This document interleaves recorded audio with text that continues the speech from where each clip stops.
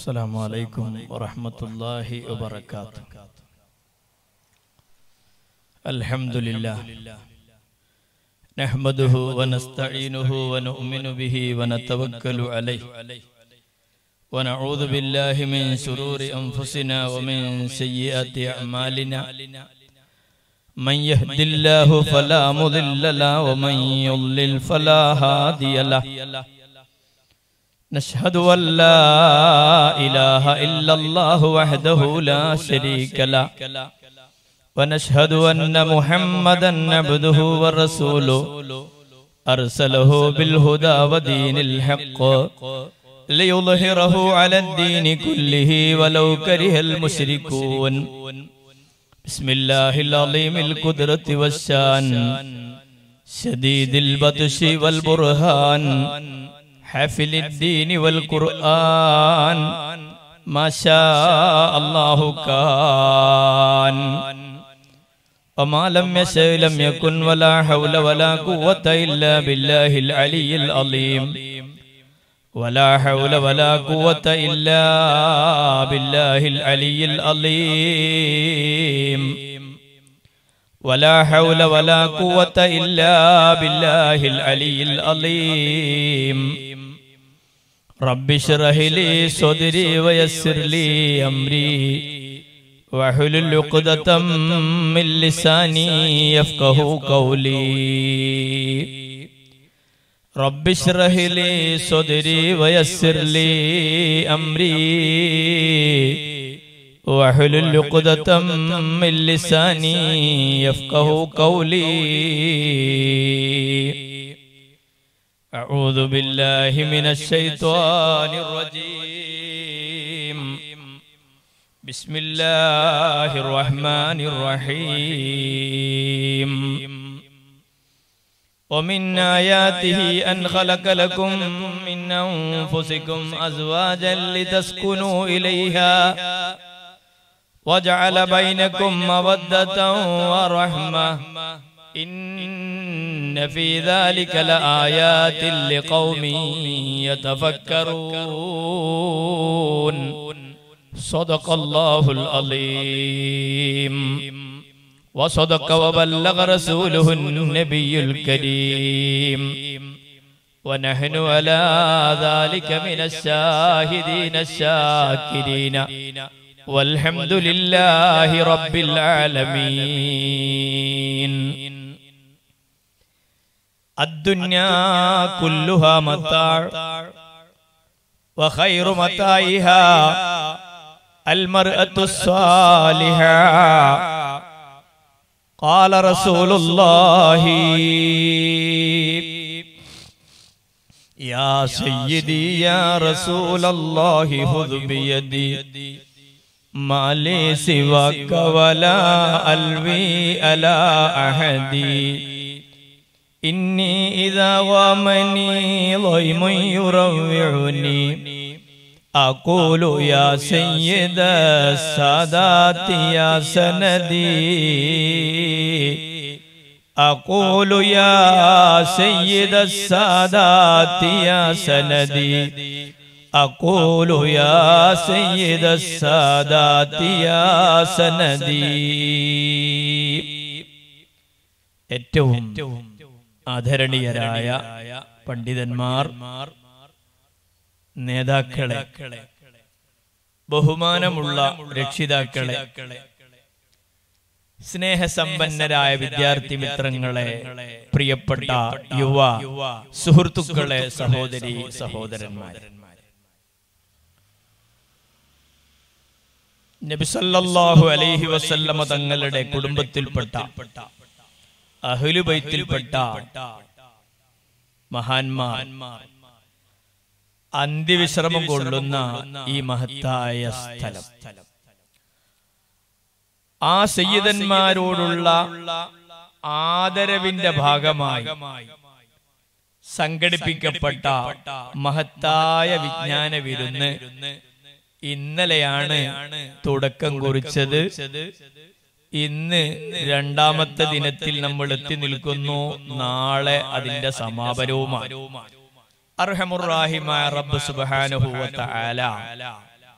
നമ്മുടെ പ്രവർത്തനങ്ങളെല്ലാം കബൂൽ ചെയ്യുമാറാവട്ടെ. ആമീൻ എന്ന് ആമുഖമായി ദുആ ചെയ്യുന്നു.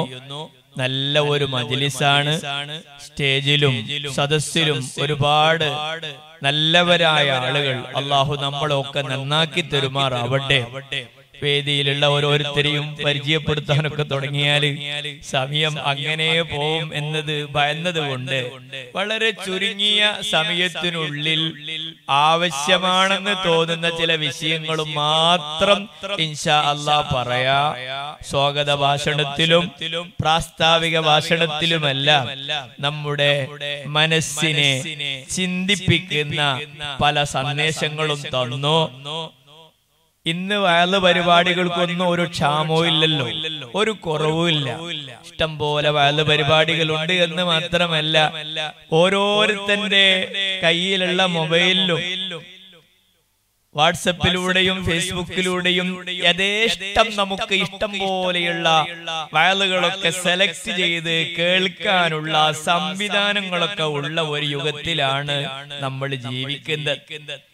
ഇങ്ങനെയുള്ള ഒരു സാഹചര്യത്തിൽ ഇത്തരത്തിലുള്ള ഒരു പരിപാടി ഒരുക്കിയിട്ട് അലഹമില്ല ഈ ഒരു മജിലിസായി എന്നത് തന്നെ വളരെ സന്തോഷ. കാരണം എൽമിന്റെ മജിലിസിനോടൊക്കെ ആദരവും ബഹുമാനവും ഒക്കെ കുറഞ്ഞു വരുന്ന കാലം. അലഹമില്ല നമ്മുടെ ഈ നാട്. അള്ളാഹുവിന്റെ ഇഷ്ടക്കാരായ മഹാന്മാരുടെ അന്ത്യവിശ്രമം കൊണ്ട് അനുഗ്രഹീതമാണ്. അത് ഏത് നാടും പല നാടുകളും ആ നാട്ടിൽ പ്രമാണിമാരുണ്ട് എന്നതല്ല. അല്ലെങ്കിൽ പണ്ഡിതന്മാരുണ്ട് എന്നതല്ല. ആ നാട്ടിൽ അള്ളാഹുവിന്റെ ഇഷ്ടക്കാരായ മഹാന്മാർ അന്ത്യവിശ്രമം കൊള്ളുന്നുവെങ്കിൽ പരിസര പ്രദേശങ്ങളിലെല്ലാം ആ നാട് അറിയപ്പെട്ട ഒരു നാടായി മാറുന്നു. അതിന്റെ ഭാഗമാണ് വള്ളാര നമുക്കറിയാം. വെള്ളാരയിൽ ധാരാളം ആളുകൾ അവിടെ എപ്പോഴും സിയാറത്തിന് വരാറുണ്ട്. എന്താണ് ആ നാട്ടിന്റെ പ്രത്യേകത? അള്ളാഹുവിന്റെ ഇഷ്ടക്കാരിൽപ്പെട്ട ഒരു മഹാൻ അവിടെ അന്ത്യവിശ്രമം കൊള്ളുന്നു എന്നതാണ്. അതുപോലെ നമ്മുടെ ഈ പ്രദേശത്ത് അഹ്ലുബൈത്തിൽപ്പെട്ട ഒരു മഹാൻ അന്ത്യവിശ്രമം കൊള്ളുന്നു. പലർക്കും സുപരിചിതമായ ഒരു മഹാനാണ് അന്ത്യവിശ്രമം കൊള്ളുന്നത്. അത്തരത്തിലുള്ള അള്ളാഹുവിന്റെ ഔലിയാക്കളെയും ആരിഫീങ്ങളെയും അഹ്ലുബൈത്തിനെയും സ്നേഹിക്കുക. ഇതാണ് നമ്മുടെ ഈമാൻ രക്ഷപ്പെടാനുള്ള രക്ഷപ്പെടുത്താനുള്ള ഒന്നാമത്തെ മാർഗം. ആ കൂട്ടത്തിൽ അള്ളാഹുവേ നീ ഞങ്ങളെയെല്ലാം ഉൾപ്പെടുത്തി അനുഗ്രഹിക്കണേ റഹ്മാനെ. പ്രാസ്താവിക ഭാഷണത്തിലും മറ്റുമൊക്കെ സൂചിപ്പിച്ചതുപോലെ വളരെയധികം ഭീതിതമായ ഒരു അന്തരീക്ഷത്തിലാണ് നമ്മളുള്ളത്.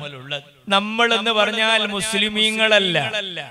ലോക രാജ്യങ്ങൾ മുഴുവനും അഥവാ ലോക രാജ്യത്തുള്ള മുഴുവൻ ആളുകളും പേടിയുടെ മുൾമുനയിലാണുള്ളത്. എന്താണ് നാളെ സംഭവിക്കുക? നാളത്തെ പ്രഭാതത്തിൽ ഞാൻ അറിയുന്ന വാർത്ത എന്തായിരിക്കാം? ഏത് രാജ്യത്താണ്? ഏത് രാജ്യത്ത് കൂടിയാണ് ഈ വൈറസ് പടർന്ന് പന്തലിച്ചിരിക്കുന്നത് എന്ന ആ ഒരു ഭീതിയാണ് നമ്മൾ അങ്കലാപ്പിലാക്കിക്കൊണ്ടിരിക്കുന്നത്. അള്ളാഹു സലാമത്ത് നൽകുമാറാവട്ടെ. ഇന്ന് ഞാനൊരു മെസ്സേജ് വായിച്ചു. കോഴിക്കോട് കലക്ടറുടേതായിട്ടുള്ള ഒരു മെസ്സേജ് വെരി ഇമ്പോർട്ടന്റ് നോട്ടിഫിക്കേഷൻ എന്ന നിലയ്ക്ക് കോഴിക്കോട് കലക്ടറുടെ ഒരു ഒരു അറിയിപ്പ് ഒരു ഇൻഫർമേഷൻ എന്താണത്? മാർച്ച് അഞ്ചാം തീയതി ദുബൈയിൽ നിന്ന് കണ്ണൂർക്കാരനായ ഒരാൾ മാർച്ച് അഞ്ചിന് കോഴിക്കോട് അന്താരാഷ്ട്ര വിമാനത്താവളത്തിൽ ഇറങ്ങി അയാൾ വരുന്ന വഴിയിൽ രാമനാട്ടുകരയിൽ മലബാർ ഹോട്ടലിൽ ഭക്ഷണം കഴിച്ചിരുന്നു ഒൻപതരയുടെയും പത്തു മണിയുടെയും ഇടയിൽ. അതുകൊണ്ട് തന്നെ ആ ഒൻപതര മണിയുടെയും പത്ത് മണിയുടെയും ഇടയിൽ ആരെങ്കിലും ആ ഹോട്ടലിൽ വന്നിട്ടുണ്ടെങ്കിൽ അവർ എത്രയും പെട്ടെന്ന് ഈ നമ്പറുമായി ബന്ധപ്പെടേണ്ടതാണ് ആലോചിച്ചു നോക്കൂ നിങ്ങൾ. ചിന്തിച്ചു നോക്കൂ മോമിനിങ്ങളെ മനുഷ്യരാകുന്ന നാം എന്തുമാത്രം നിസ്സഹരാണ് നിസ്സഹായരാണ് എന്തൊരു കഴിവാണ് നമുക്കുള്ളത്. നമ്മളെ പാഠം പഠിപ്പിക്കാൻ അള്ളാഹുവിന് കൂടുതൽ സമയം ആവശ്യമില്ല. നേരത്തെ പ്രാസ്താവിക ഭാഷണത്തിൽ ഉസ്താദ് അവറുകൾ നമ്മുടെ മനസ്സിനെ ചിന്തിപ്പിച്ചുകൊണ്ട് ഓർമ്മപ്പെടുത്തിയതുപോലെ അടിക്കടി അടിക്കടി അടിക്കടി ഒരുപാട് സന്ദേശങ്ങൾ നിപ്പ വൈറസ് എന്ന പേരിൽ അതുപോലെ പ്രളയത്തിന്റെ പേരിൽ അങ്ങനെ പല പല പല പേരുകളിൽ നമ്മളെ ഞെട്ടിപ്പിക്കുന്നു പേടിപ്പിക്കുന്നു. പക്ഷേ പരിവർത്തനം എനിക്കും നിങ്ങൾക്കും വരുന്നില്ല. വയലുകൾ ധാരാളം കേൾക്കുന്നു. ഇരുമ്പ് പോലും മയമായി പോകുന്ന വയൽ കേൾക്കുന്നു പക്ഷേ എനിക്കും നിങ്ങൾക്കും പരിവർത്തനം വരുന്നില്ല. വയൽ ഉപകരിക്കുന്നില്ല. അന്നക്കമിഞ്ചമാതി നിർജീവമായ വസ്തുവിനെ പോലെ فمالك ليس ينفع فيك وعظ ولا زجر كأنك من جمادي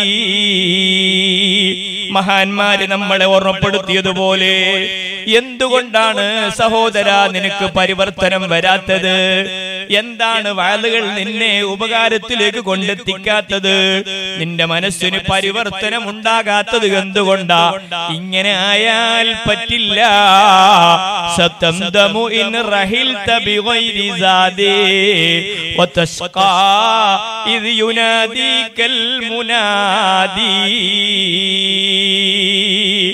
കേരിച്ചു പോകും കേട്ടോ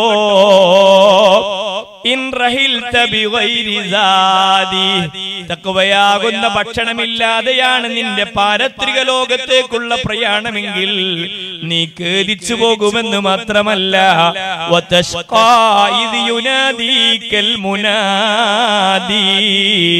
വിളിക്കുന്നവന്റെ വിളിയാളം വരുമ്പോൾ നീ പരാജയപ്പെട്ടു പോകും. അള്ളാഹു നമ്മളെ കാത്തുരക്ഷിക്കുമാറാവട്ടെ. അള്ളാഹു നമ്മളെ കാത്തുരക്ഷിക്കുമാറാവട്ടെ. എന്റെ പ്രിയമുള്ളവരെ ദുആ ചെയ്യലല്ലാതെ വേറെ ഒരു വഴിയും ഞമ്മക്കില്ല അറിഞ്ഞുകൊണ്ടിരിക്കുന്ന വാർത്തകൾ ഇതൊന്നും പേടിപ്പെടുത്താനുള്ളതല്ല. ആരോഗ്യ രംഗത്തുള്ള ഒരു അടിയന്തിരാവസ്ഥയിലാണുള്ളത്. മദ്രസകളൊക്കെ നിർത്തിവെക്കുക.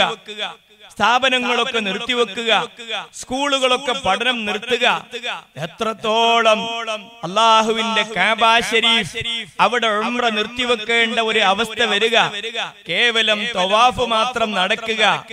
നോക്കൂ നേരത്തെ ഉസ്താദ് പറഞ്ഞില്ലേ ബാങ്ക് കൊടുക്കുന്നതിന്റെ ഇടയിൽ കുവൈത്തിൽ നിന്നാണ് അല്ലെ? കുവൈത്തിൽ നിന്ന് വിളിച്ചു പറഞ്ഞത്.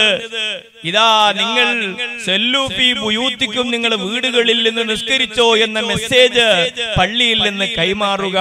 ഈ ഒരു അടിയന്തര ആരോഗ്യ രംഗത്ത് ഒരു അടിയന്തരാവസ്ഥയിലാണ് നമ്മൾ ഉള്ളത് പരിപാടികളൊക്കെ കേരളത്തിൽ എത്ര എത്രയോ ഉറൂസ് പരിപാടികളൊക്കെ നിർത്തിവെച്ചു.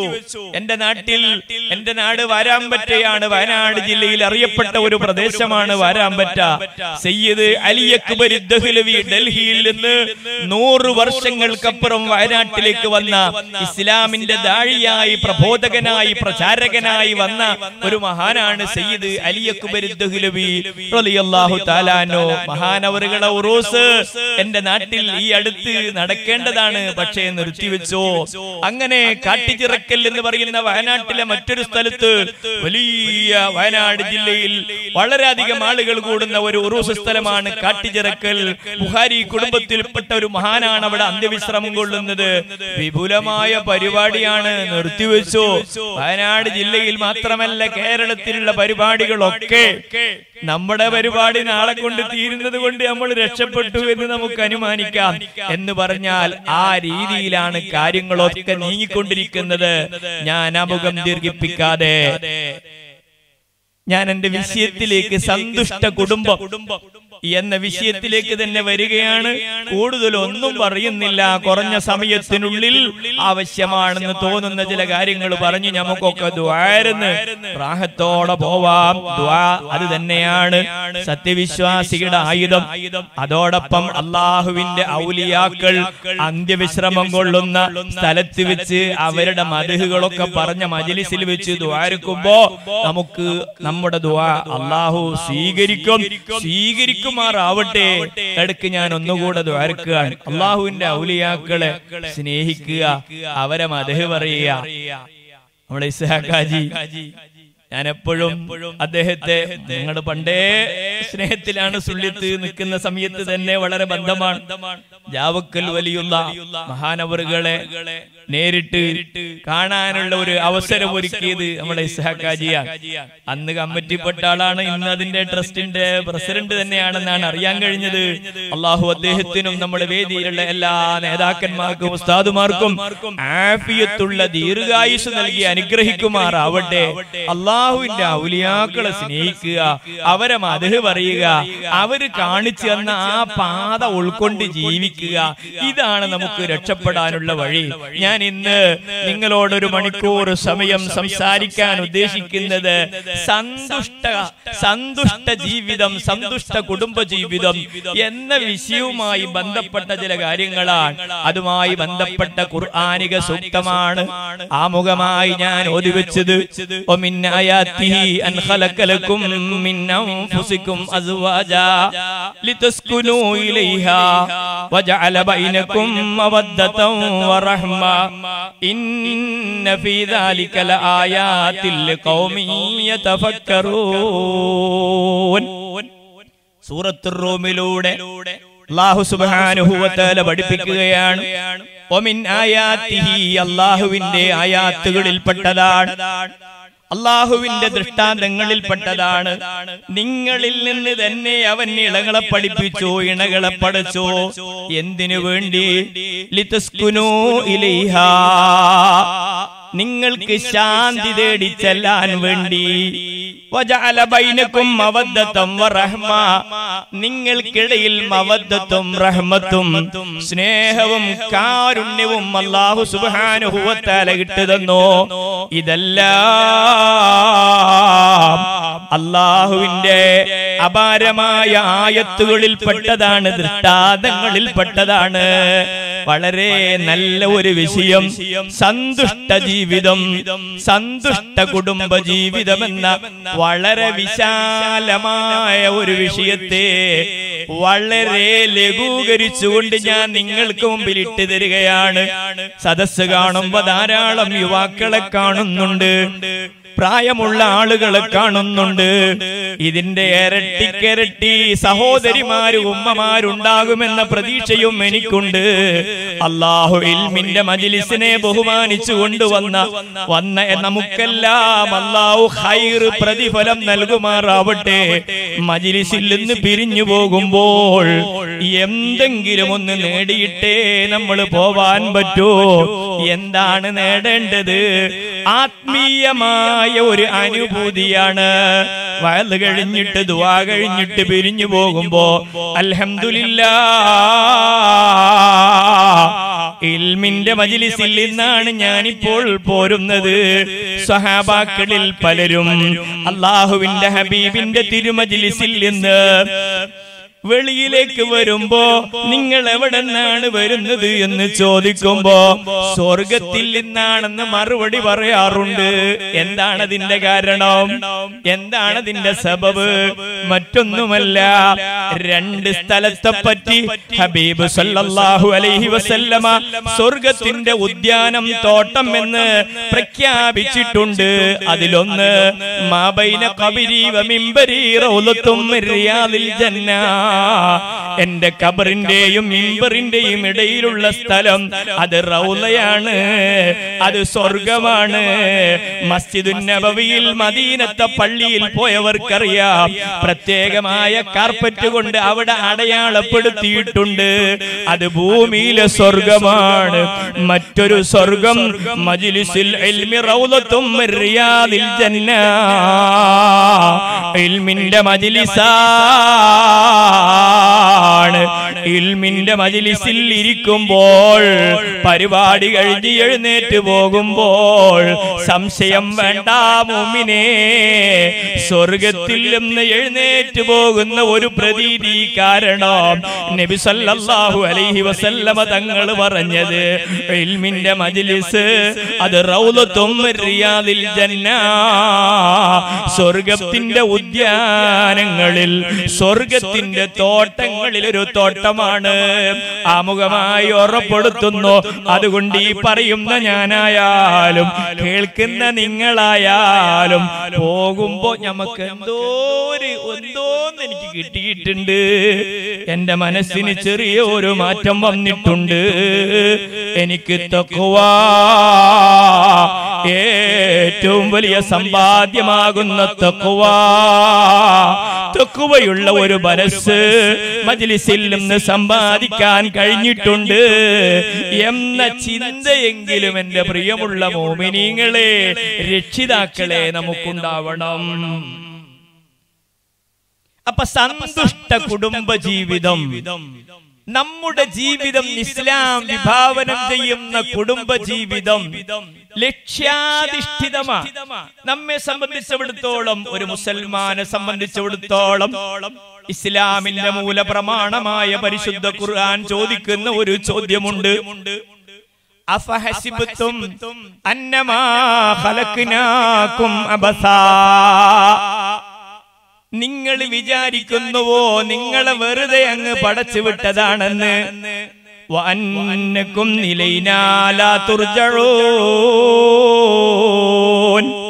നിങ്ങളെ നമ്മിലേക്ക് മടക്കില്ല എന്ന ദുർവിചാരം നിങ്ങൾക്കുണ്ടോ? എങ്കിൽ നിങ്ങളത് മാറ്റിവെക്കണമെന്ന് പറഞ്ഞാൽ നമ്മുടെ ജീവിതത്തിന് ഒരു സുനിശ്ചിതമായ ലക്ഷ്യമുണ്ട്. മാതാവിന്റെ സങ്കുചിതമായ ഗർഭാശയത്തിൽ നിന്ന് പ്രവിശാലമായ ഈ പ്രപഞ്ചത്തിലേക്ക് വന്ന നമ്മൾ വലതത്തുക്ക ഉമ്മുക്കായ ആദമ ബാക്കിയ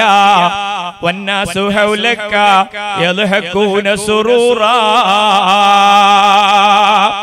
മോനെ നിന്റെ ഉമ്മ നിന്നെ പ്രസവിക്കുമ്പോ രണ്ട് കൈയും ഇങ്ങനെ കൂട്ടിപ്പിടിച്ചുകൊണ്ട് രണ്ട് കൈയും ഇങ്ങനെ കൂട്ടിപ്പിടിച്ചുകൊണ്ട് കരഞ്ഞുകൊണ്ടല്ലേ ഈ ഭൗതികമായ ലോകത്തേക്ക് നീ വന്നത്? എന്നാൽ നീ ഒരു കാര്യം ചെയ്യണം. ഈ ഭൗതികമായ ലോകത്ത് ജീവിക്കുമ്പോ അല്പം നീ അധ്വാനിക്കണം പരിശ്രമിക്കണം. എന്തിനു വേണ്ടി? എന്തിനു വേണ്ടി? എല്ലാവർക്കും സന്തോഷം നൽകിയിട്ട് എല്ലാവരെയും ചിരിപ്പിച്ചുകൊണ്ട് ഈ ഭൗതികമായ ലോകത്തേക്ക് വന്ന നിനക്ക് എല്ലാരെയും കരയിപ്പിച്ചുകൊണ്ട് സന്തോഷത്തോടെ നീ ഇവിടുന്ന് പോകണം അതിനു മോനെ വജുഹദിലി നഫ്സിക അൻ يبكون إذا بكوا في حال موتك لاهكا مسرورا. എല്ലാവരെയും കരയിപ്പിച്ചുകൊണ്ട് ചിരിച്ചു കൊണ്ടുപോകണം അപ്പൊ നമ്മുടെ എല്ലാ പദ്ധതികൾക്കും സുനിശ്ചിതമായ ലക്ഷ്യമുണ്ട്. നമ്മൾ പറയുന്ന വിഷയം സന്തുഷ്ട കുടുംബജീവിതം. സന്തോഷിച്ചും സന്തോഷിപ്പിച്ചും കളിച്ചും വിനോദിച്ചുമുള്ള ആനന്ദകരമായ ഒരു കുടുംബജീവിതമാണ് പരിശുദ്ധ ഇസ്ലാം കാഴ്ചവെക്കുന്നത്. അല്ലാതെ ഏതോ ഒരു പോയത്തക്കാരൻ കവി പാടിയതുപോലെ പാറി നടക്കും പറവകളൊന്നും വെളി കഴിക്കാറില്ല. അതുകൊണ്ട് കൂടെ ഉറങ്ങാൻ മേരേജക്കും തലിയുമൊന്നും വേണ്ട. തൊട്ടിലും വേണ്ട താരാട്ടും ഇനി കുട്ടികളും ഇനി വേണ്ട. ഒന്നും അടുത്ത് കഴിഞ്ഞാൽ പിന്നെ നമുക്ക് ഗുഡ് ബൈ ചെല്ലിപ്പിരിയാം എന്ന് പറഞ്ഞതുപോലെ അലക്ഷ്യമായ ജീവിതമല്ല. സുനിശ്ചിതമായ ഒരു ലക്ഷ്യമുണ്ട്. ആ ലക്ഷ്യാധിഷ്ഠിതമായ ജീവിതമാണ് ഞാനും നിങ്ങളും നയിക്കേണ്ടത്. അതാണ് സന്തുഷ്ട കുടുംബ ജീവിതം ആനന്ദകരമായ കുടുംബ ജീവിതം റാഹത്തുള്ള കുടുംബ ജീവിതം കുടുംബം എന്ന് പറയുമ്പോ തന്നെ. ആ പേരിൽ തന്നെ എന്തോ ഒരു സന്തോഷമുണ്ട്. ആ പേരിന്റെ എന്തിൽ നിന്ന് നിഷ്പന്നമായി എന്ന് ചിന്തിക്കുമ്പോഴും നമുക്കതിൽ പഠിക്കാനുണ്ട്. കുടുംബം എന്ന് പറഞ്ഞാൽ കൂടുമ്പോൾ ഇമ്പം. പക്ഷേ കൂടുമ്പോൾ ഭൂകമ്പം എന്നത് ആയി മാറാൻ പാടില്ല. അതിനാണ് കുടുംബജീവിതത്തിന്റെ യഥാർത്ഥ ലക്ഷ്യങ്ങളെപ്പറ്റി ലേശമൊന്ന് പഠിക്കേണ്ടി വരുന്നത്. കുടുംബജീവിതത്തിന്റെ ലക്ഷ്യമെന്ത് എന്ന് മനസ്സിലാക്കുമ്പോൾ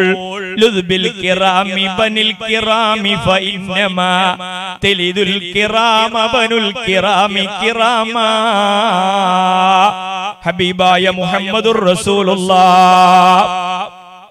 നല്ല മജലിസൊക്കെയാ പക്ഷെ സ്വലാത്തിന്റെ ഒച്ചൊന്നും അത്ര പോരാ. ഹബീബ് മുഹമ്മദ് മുസ്തഫ. ഹബീബ് മുഹമ്മദ് മുസ്തഫ. സല്ലല്ലാഹു അലൈഹി വസല്ലമ തങ്ങൾ പറയാണ്.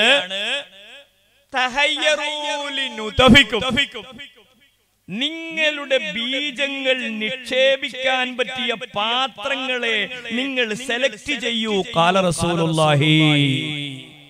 ഞാൻ പറഞ്ഞ എന്താന്ന് തിരിഞ്ഞിട്ടുണ്ടാകുമെന്ന് ഞാൻ വിചാരിക്കുക.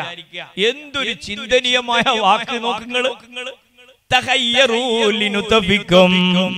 നിങ്ങളുടെ ബീജങ്ങൾ നിക്ഷേപിക്കാൻ പറ്റിയ പാത്രങ്ങളെ നിങ്ങൾ തെരഞ്ഞെടുക്കുവീൻ.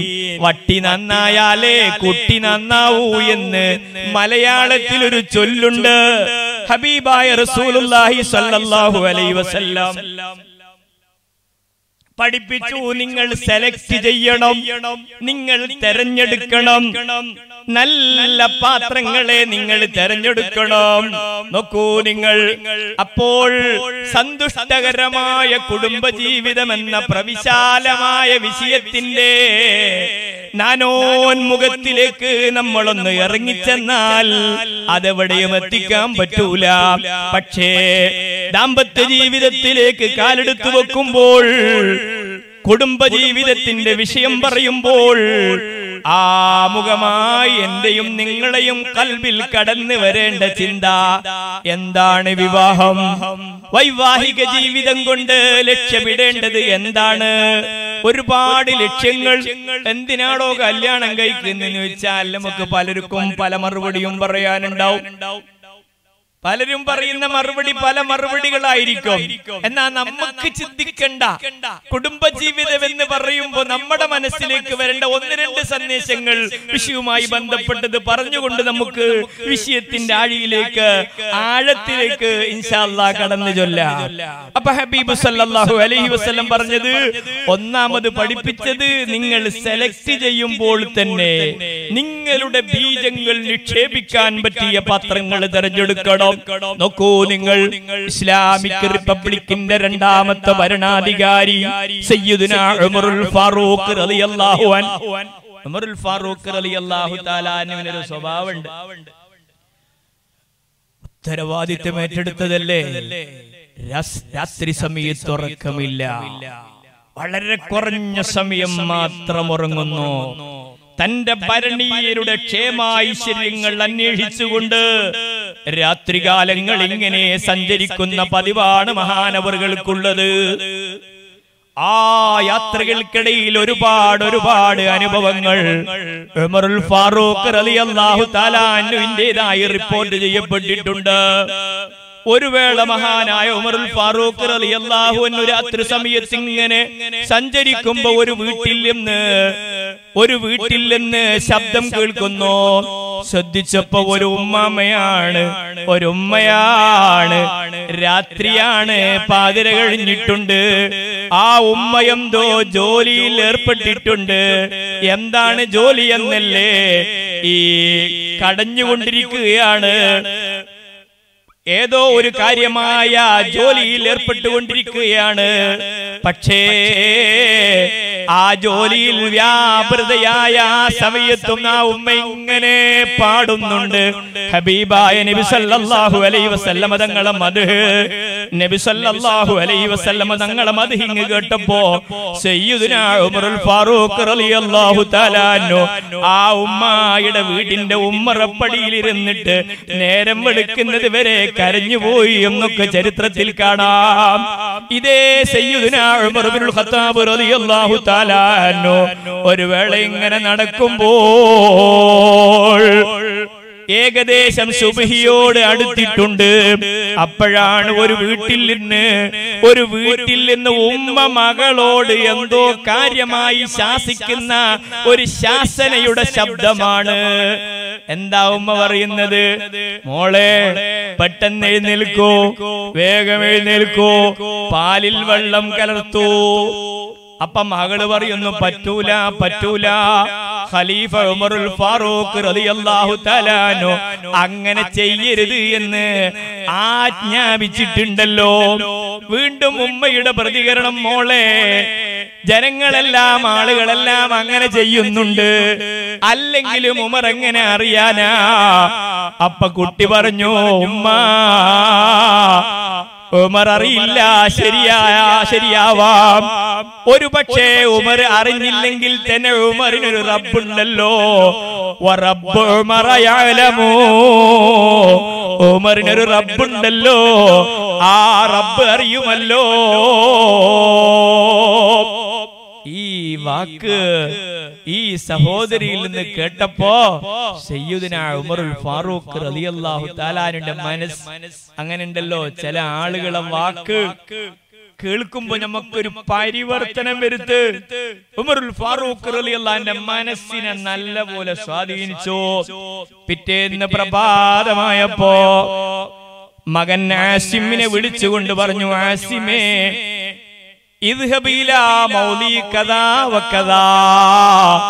ഇന്നാൽ ഇന്ന സ്ഥലം വരെ നീയൊന്നു പോകണം. അവിടെ ഒരു പെണ്ണുണ്ട്. അവളെ പറ്റി ഒന്ന് നന്നായി നീ പഠിക്കണം പഠിച്ചിട്ട് വരണം. ബാപ്പയുടെ നിർദ്ദേശം കൊണ്ട് തന്നെ മകൻ വളരെ പെട്ടെന്ന് ആ സ്ഥലത്ത് പോകുന്നു.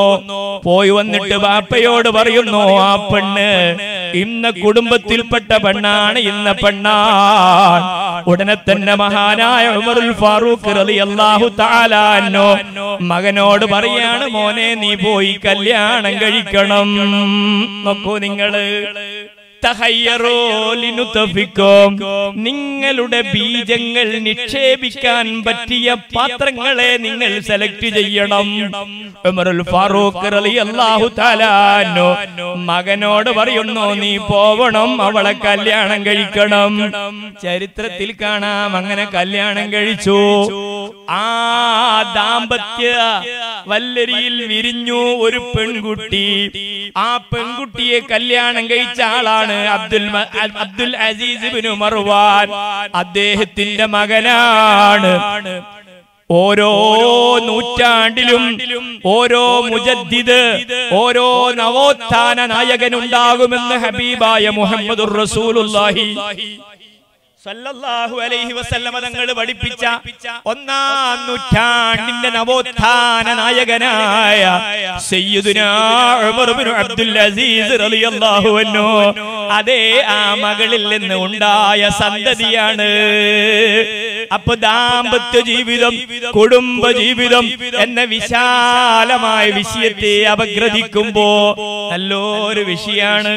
വളരെ അനിവാര്യമായ വിഷയാണ് ഈ വിഷയത്തിലുള്ള ഇൽമിന്റെ പരിജ്ഞാനത്തിന്റെ കുറവ് കൊണ്ട് പല പല കുടുംബത്തിലും കുടുംബ കലഹങ്ങൾ ഉണ്ടാവുകയാണ്. ഭർത്താവ് ഭാര്യയെ എങ്ങനെ സ്നേഹിക്കണം? ഭാര്യ ഭർത്താവിനെ എങ്ങനെ സ്നേഹിക്കണം? ഭാര്യ ഭർത്താവ് നോക്ക് നമുക്ക് തിരിയണ്ടിട്ട് പറയുന്നത് കേട്ടോ. ഇസ്ലാമിൽ അങ്ങനത്തെ ശൈലി തന്നെ ഇല്ല. ഭർത്താവ് എന്ന് പറഞ്ഞാൽ ഭരിക്കുന്നവൾ. ഭാര്യ ഭരിക്കപ്പെടുന്നവൾ എന്ന അർത്ഥത്തിലുള്ള ഒരു ശൈലി ഇസ്ലാമിലില്ല. ഇസ്ലാമിൽ എന്താ പറയാ? ഇണ. ഇണ. രണ്ടു കൂട്ടർക്കും ഭർത്താവിനും സൗജു എന്ന് പറയും ഭാര്യക്കും സൗജു എന്ന് പറയും. സൗജത്ത് എന്നൊക്കെ പറയും ഫറായിലിന്റെ മസാലകൾ പറയുന്നിടത്ത് സ്വത്തോഹരിയൊക്കെ നിർത്തൊക്കെ പ്രത്യേക വകന പറയാറുണ്ട് മൊത്തത്തിൽ സൗജ് ഇണയും തുണയും. ഖുർആാനിന്റെ ശൈലി എന്നെ കണ്ടില്ലേ? ഹുന്ന ലിബാസുല്ലക്കും വ അൻതും ലിബാസുല്ലഹുൻ ആ ശൈലി ഹുന്ന ആ ഭാര്യമാർ ലിബാസുല്ലക്കും നിങ്ങളുടെ ലിബാസ. അവിടെ നിങ്ങളുടെ വീട് എന്ന് ഖുർആൻ പറഞ്ഞില്ല. നിങ്ങളുടെ വാഹനം എന്ന് കുറുഹാൻ പറഞ്ഞിട്ടില്ല. ഖുർആൻ പറഞ്ഞത് എന്താ? ലിബാസുല്ലക്കും. ആ ഭാര്യമാർ നിങ്ങളുടെ ലിബാസാണ്. എന്താ ലിബാസ് എന്ന് പറഞ്ഞാൽ? സൗബ് എന്ന് പറഞ്ഞാൽ സൗബ് എന്ന് പറഞ്ഞാൽ അതിന്റെ അർത്ഥം വസ്ത്രം എന്നാണ് സൗബ് വസ്ത്രം എന്നാണ് അതിന്റെ മീനിങ്. എന്നാൽ ലിബാസ് എന്ന് പറഞ്ഞാൽ സൗബ് നമ്മുടെ ശരീരത്തിൽ എത്തിയാലാണ് ലിബാസ് ഉടയാടയാവുന്നത്. നോക്കൂ നിങ്ങൾ ഭാര്യമാർ നിങ്ങളുടെ വാഹനമാണെന്ന് പറഞ്ഞില്ല കാരണം എപ്പോഴും വാഹനത്തിലുണ്ടാവൂല. നിങ്ങളുടെ വീടാണെന്ന് പറഞ്ഞില്ല വീട്ടിലെപ്പോഴും ഉണ്ടാവൂല. പറഞ്ഞതെന്താ? നിങ്ങളുടെ ലിബാസാണ് ഉടയാടകളാണ്. നമ്മുടെ ശരീരത്തിൽ വസ്ത്രം സമ്പൂർണമായി ഒഴിവാവുന്ന അവസ്ഥ ഉണ്ടാവാറില്ലല്ലോ. ഉണ്ട് എന്ന് ചില ആളുകളൊക്കെ പറയും. അവരിതങ്ങനെ? കുളിക്കുന്ന സമയത്ത് വസ്ത്രം ധരിക്കണം ഉറങ്ങുന്ന സമയത്ത് വസ്ത്രം ധരിക്കണം എല്ലാ സമയത്തും വസ്ത്രം ധരിക്കണം. ഏതെങ്കിലും ഒരു വസ്ത്രം നമ്മുടെ ശരീരത്തിൽ എല്ലാ സമയത്തും ഉണ്ടാകും.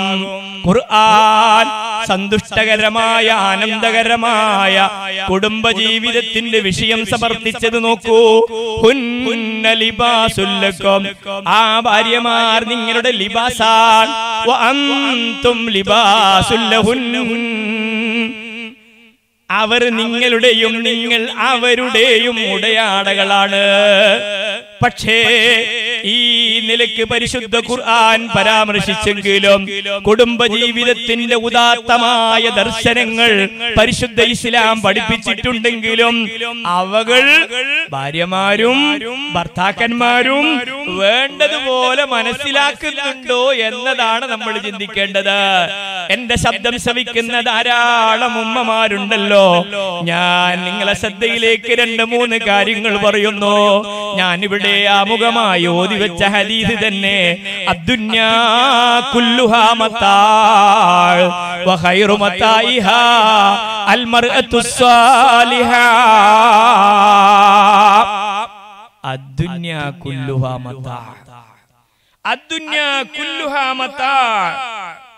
ദുനിയാവ് മുഴുക്കെ സുഖഭോഗ വസ്തുക്കളാണ്. എന്നാൽ ദുനിയാവിലുള്ള ദുനിയാവിലുള്ള സുഖഭോഗ വസ്തുക്കളിൽ ഏറ്റവും നല്ല സുഖഭോഗ വസ്തു അൽ.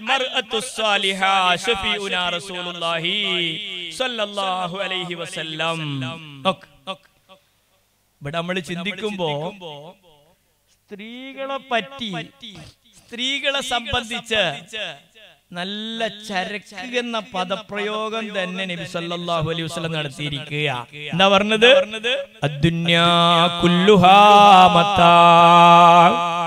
ദുനിയാവ് മുഴുക്കെ സുഖഭോഗ വസ്തുക്കളാണ്. ദുനിയാവിലെ സുഖഭോഗ വസ്തുക്കളിൽ ഏറ്റവും നല്ലത് സജ്ജനവതിയാകുന്ന പെണ്ണാകുന്നു കാലറസൂലുല്ലാഹി ഉമ്മമാരെ സഹോദരിമാരെ ദുനിയാവിൽ കിട്ടുന്ന വസ്തുക്കളെ കൂട്ടത്തിൽ ചരക്കുകളെ കൂട്ടത്തിൽ ഏറ്റവും നമ്പർ വൺ സ്ഥാനം അലങ്കരിക്കുന്നത് നിങ്ങളാണെന്നാണ് ആര് പറഞ്ഞത്? ഹബീബായ മുഹമ്മദ് മുസ്തഫ സല്ലല്ലാഹു അലൈഹി വസല്ലമ തങ്ങൾ പറഞ്ഞത്. അപ്പൊ എന്താണ് അതിന്റെ കാരണം? അങ്ങനെ പെണ്ണുങ്ങളെ പറ്റി നബി സല്ലല്ലാഹു അലൈഹി വസല്ലമ തങ്ങൾ പറയാൻ കാരണം എന്താ? കുടുംബിനി നന്നായാൽ കൊടുമ്പനിയും പ്രശ്നല്ല. എന്ന് പഴയ ആളുകൾ പറയുന്നത് വളരെ ശരിയാ. നമ്മൾ വീട്ടിലുള്ള പൊരക്കാരത്തി കുടുംബിനി നല്ല സ്വഭാവത്തിന്റെ ഉടമയായി അള്ളാഹുവിനെ പേടിക്കുന്ന പെണ്ണായി മാറി. അപ്പോൾ മക്കളും നല്ലവരാവുകയാണ്. കുടുംബം നല്ലവരാവുകയാണ്. എന്തിനധികം ഭർത്താവ് ഒരുപക്ഷെ നിസ്കാരത്തിൽ കൃത്യനിഷ്ഠത ഉള്ള ആളല്ലെങ്കിൽ തന്നെ അൽമർ പെണ്ണ് നന്നായാൽ ഭർത്താവും നന്നാവാനുള്ള നിമിത്തമായി അത് മാറുകയാണ് എത്രയോ ആളുകളുണ്ട്. ചില ആളുകളെ പറ്റി പറയും ഓൻ കല്യാണം കഴിക്കുന്നവരെ ഓന്റെ കഥ പറണ്ട അതേ സമയത്ത് അൽഹംദുലില്ല ഇപ്പൊ നല്ലതാണ്. ആളാകെ മാറ്റം വന്നിട്ടുണ്ട് ചേഞ്ചസ് ആയിട്ടുണ്ട്. നേരെ തിരിച്ചു പറയുന്നത് ഉണ്ട്. എന്നാലും പലരും ദാമ്പത്യ ജീവിതത്തിലേക്ക് കാലെടുത്ത് വെക്കലോടുകൂടെ അതിന്റെ ലക്ഷ്യം മനസ്സിലാക്കിയിട്ട് ദാമ്പത്യ ജീവിതത്തിന് സുനിശ്ചിതമായ ലക്ഷ്യമുണ്ട് എന്ന് ഞാൻ പറഞ്ഞല്ലോ. ഒന്ന് ഒരാൾ കല്യാണം കഴിച്ചാൽ ഹബീബ് മുഹമ്മദ് മുസ്തഫ. സല്ലല്ലാഹു അലൈഹി വസല്ലമ തങ്ങളെ സന്തോഷിപ്പിക്കൽ ആ കല്യാണത്തിനുണ്ട്. പുതിയാപ്പിളമാര് ചിന്തിക്കണം. വൈവാഹിക ജീവിതത്തിലേക്ക് കാലെടുത്ത് വെക്കാൻ ഉദ്ദേശിക്കുന്ന യുവാക്കളെ നിങ്ങൾ ആലോചിക്കണം. നിങ്ങൾ കല്യാണം കഴിക്കുമ്പോൾ നിങ്ങൾ കല്യാണം കഴിക്കുമ്പോൾ അള്ളാഹുവിന്റെ ഹബീബ് മുഹമ്മദ് മുസ്തഫ. സല്ലല്ലാഹു അലൈഹി വസല്ലമ തങ്ങളെ സന്തോഷിപ്പിക്കുകയാണ്. അതെങ്ങനെയാ? റസൂലുള്ളാഹി സല്ലല്ലാഹു അലൈഹി വസല്ലമ തങ്ങൾ പറഞ്ഞു തസവ്വജുൽ വലൂദൽ വദൂദ് ഇദാ സ്നേഹമുള്ള പെണ്ണിനെ. ധാരാളം പ്രസവിക്കുന്ന അത്തരത്തിലുള്ള കുടുംബത്തിലുള്ള പെണ്ണിനെ നിങ്ങൾ കല്യാണം കഴിക്കണം.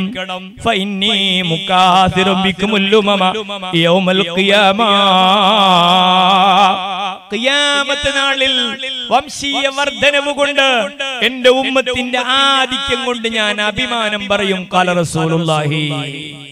അപ്പൊ ഒരാൾ കല്യാണം കഴിച്ച് ആ കല്യാണം കഴിക്കൽ കൊണ്ട് അള്ളാഹുവിന്റെ റസൂലിനെ സന്തോഷിപ്പിക്കൽ വരുന്നത് എങ്ങനെയാ? ആ കല്യാണം കഴിക്കാൻ ഉദ്ദേശിച്ച യുവാവിന്റെ മനസ്സിലുള്ള ചിന്ത ഞാൻ ഈ പറഞ്ഞ ചിന്തയാണ്. എന്ന് മാത്രമല്ല മഹാന്മാരായ ഇമാമിങ്ങൾ രേഖപ്പെടുത്തി വെച്ചത് കാണാം. ഒരാൾ കല്യാണം കഴിച്ച് ആ ഭാര്യയുമായി ബന്ധപ്പെടുന്ന സമയത്ത് അവനുണ്ടാകുന്ന ആ അവാച്യമായ വാചകത്തിൽ ഒതുക്കാൻ പറ്റാത്ത ആനന്ദമായ ആ സമയം ഇവന്റെ മനസ്സിൽ കടന്നു വരുന്ന ചിന്ത. അല്ല അല്ലാ. നമ്മുടെ ജീവിതത്തിൽ നമ്മൾ അനുഭവപ്പെടുന്ന വല്ലാത്തൊരു ആനന്ദമാണല്ലോ. ഇന്നും ഇന്നലെയും തുടങ്ങിയതുമല്ലല്ലോ. ആദിയിൽ പിതാവ് അബുൽ ബസർ ആദം അലൈഹിസ്സലാം അതിന് നബി അലൈഹിസ്സലാമിന് ഹവ്വ ഉമ്മയെ പഠിച്ചു കൊടുത്ത് അങ്ങനെ ഒരു മലക്കിനെ അയച്ചിട്ട് പരസ്പരം ബന്ധപ്പെടാൻ വേണ്ടി കൽപ്പിച്ചു. അങ്ങനെ ബന്ധപ്പെട്ടു? ആ സമയത്ത് നല്ല അനുഭൂതി രണ്ടുപേർക്കും ഉണ്ടായി അപ്പോ അവ്വാവുമ്മ പറഞ്ഞ വാക്ക് ചില തഫ്സീറിന്റെ കിതാബുകളിലൊക്കെ കാണാം ആദം ത്വയ്യിബ്. ഇത് നല്ല രസമുണ്ടല്ലോ. ജിദിനാമിന്നു ഇനിയും നമുക്ക് ബന്ധപ്പെടാമെന്ന് പറഞ്ഞത്. അപ്പൊ ആ നിലക്കുള്ള ആ ഒരു ആനന്ദമുണ്ടാകുമ്പോ ഒരു മോമിനായ മനുഷ്യന്റെ ഹൃദയത്തിൽ കടന്നു വരുന്ന ചിന്ത. അല്ലാ അർഹമുറാഹിമായ റബ്ബ്. അവന്റെ സ്വർഗത്തിൽ നൂറ് റഹ്മത്തുകളെ പഠിച്ചിട്ട് അള്ളാഹുത്തേല നൂറ് റഹ്മത്തുകളെ സ്വർഗത്തിൽ പഠിച്ചു. ആ നൂറ് റഹ്മത്തുകളിൽ ഒരൊറ്റ റഹ്മത്ത് മാത്രമാണ് സ്വർഗത്തിലേക്ക് ഇറക്കിയത്. സ്വർഗ സ്വർഗത്തിൽ നിന്ന് ഭൂമിയിലേക്ക് ഇറക്കിയത്.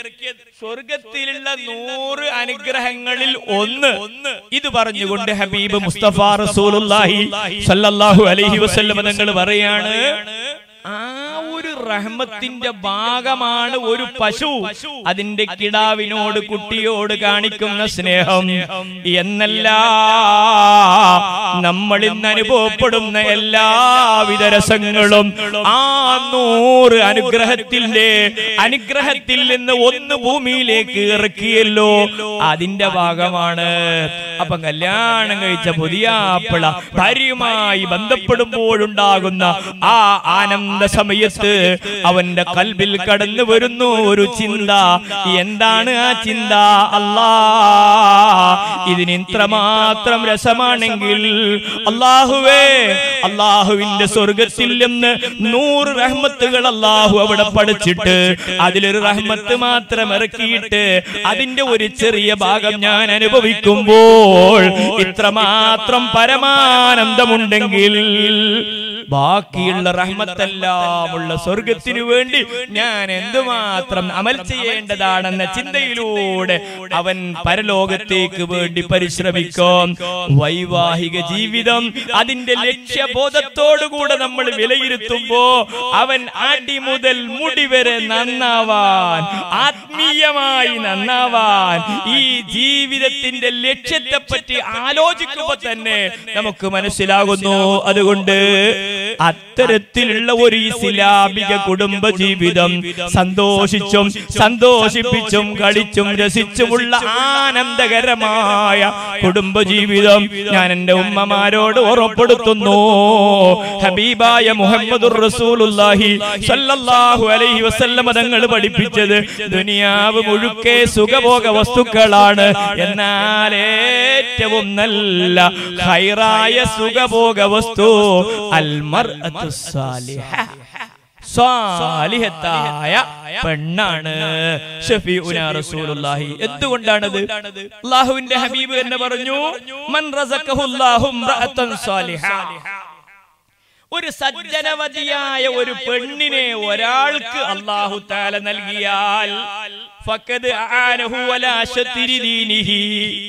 അവന്റെ ദീനിൻ അവന്റെ ദീനിന്റെ പകുതിയുടെ മേൽ അള്ളാഹു താല അവനെ സഹായിച്ചു. എന്നിട്ട് പറയാ ബാക്കിയുള്ള ഭാഗത്തിൽ അവൻ അള്ളാഹുവിനെ സൂക്ഷിച്ചു കൊള്ളട്ടെ. ഒരു ഹദീസ് മറ്റൊന്ന് കാണാം.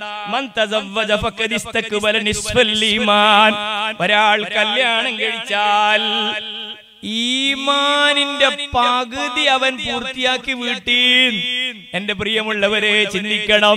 കല്യാണം കഴിക്കുക എന്ന് പറഞ്ഞാൽ കേവലം നമ്മുടെ വികാരം തീർക്കാനുള്ള ഒരു ഏർപ്പാടാണ് എന്ന് മനസ്സിലാക്കാതെ നമ്മുടെ ജീവിതത്തിന്റെ എല്ലാം എല്ലാമാണെന്ന് മാത്രമല്ല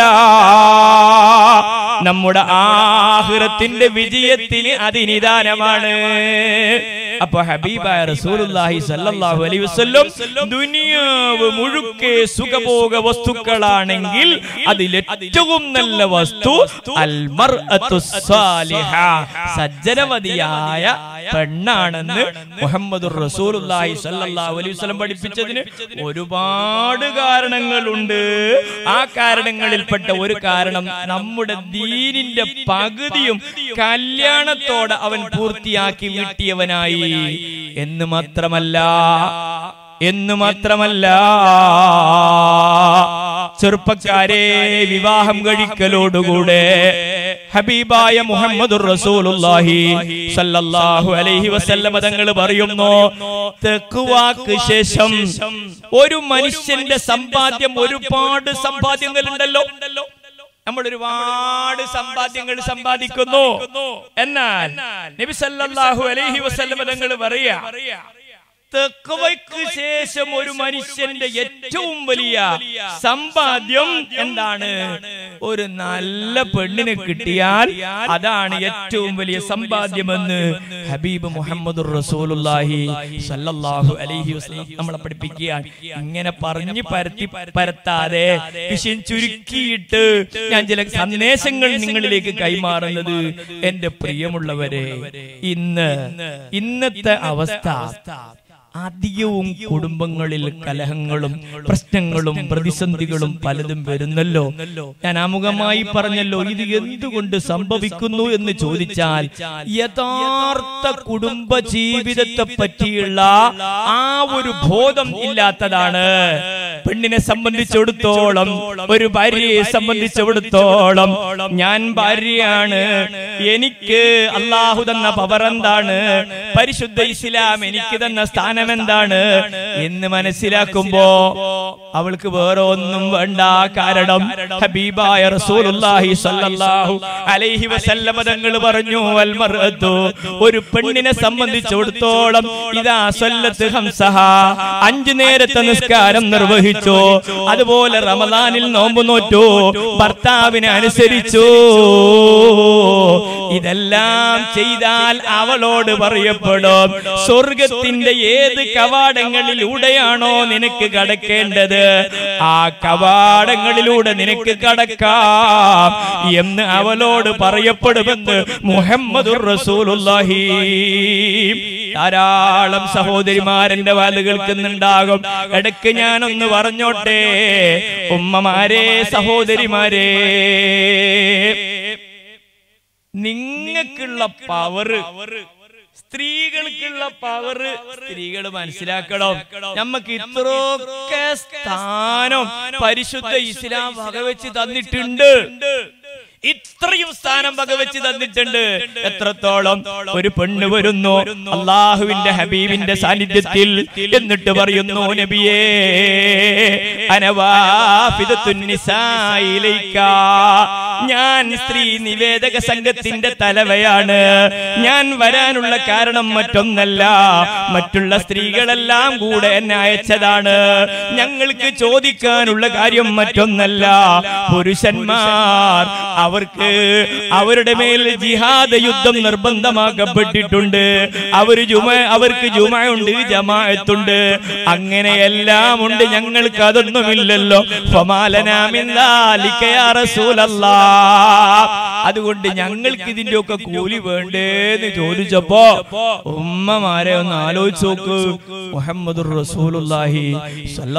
അലൈഹി വസല്ലമ തങ്ങൾ പറഞ്ഞു പെണ്ണേ അബിലിഗി മല്ലകീതി ഞാൻ ഈ ഇതാ ഞാനീ പറയുന്ന സന്ദേശം നീ കാണുന്ന പെണ്ണുങ്ങളോടൊക്കെ പറയണം.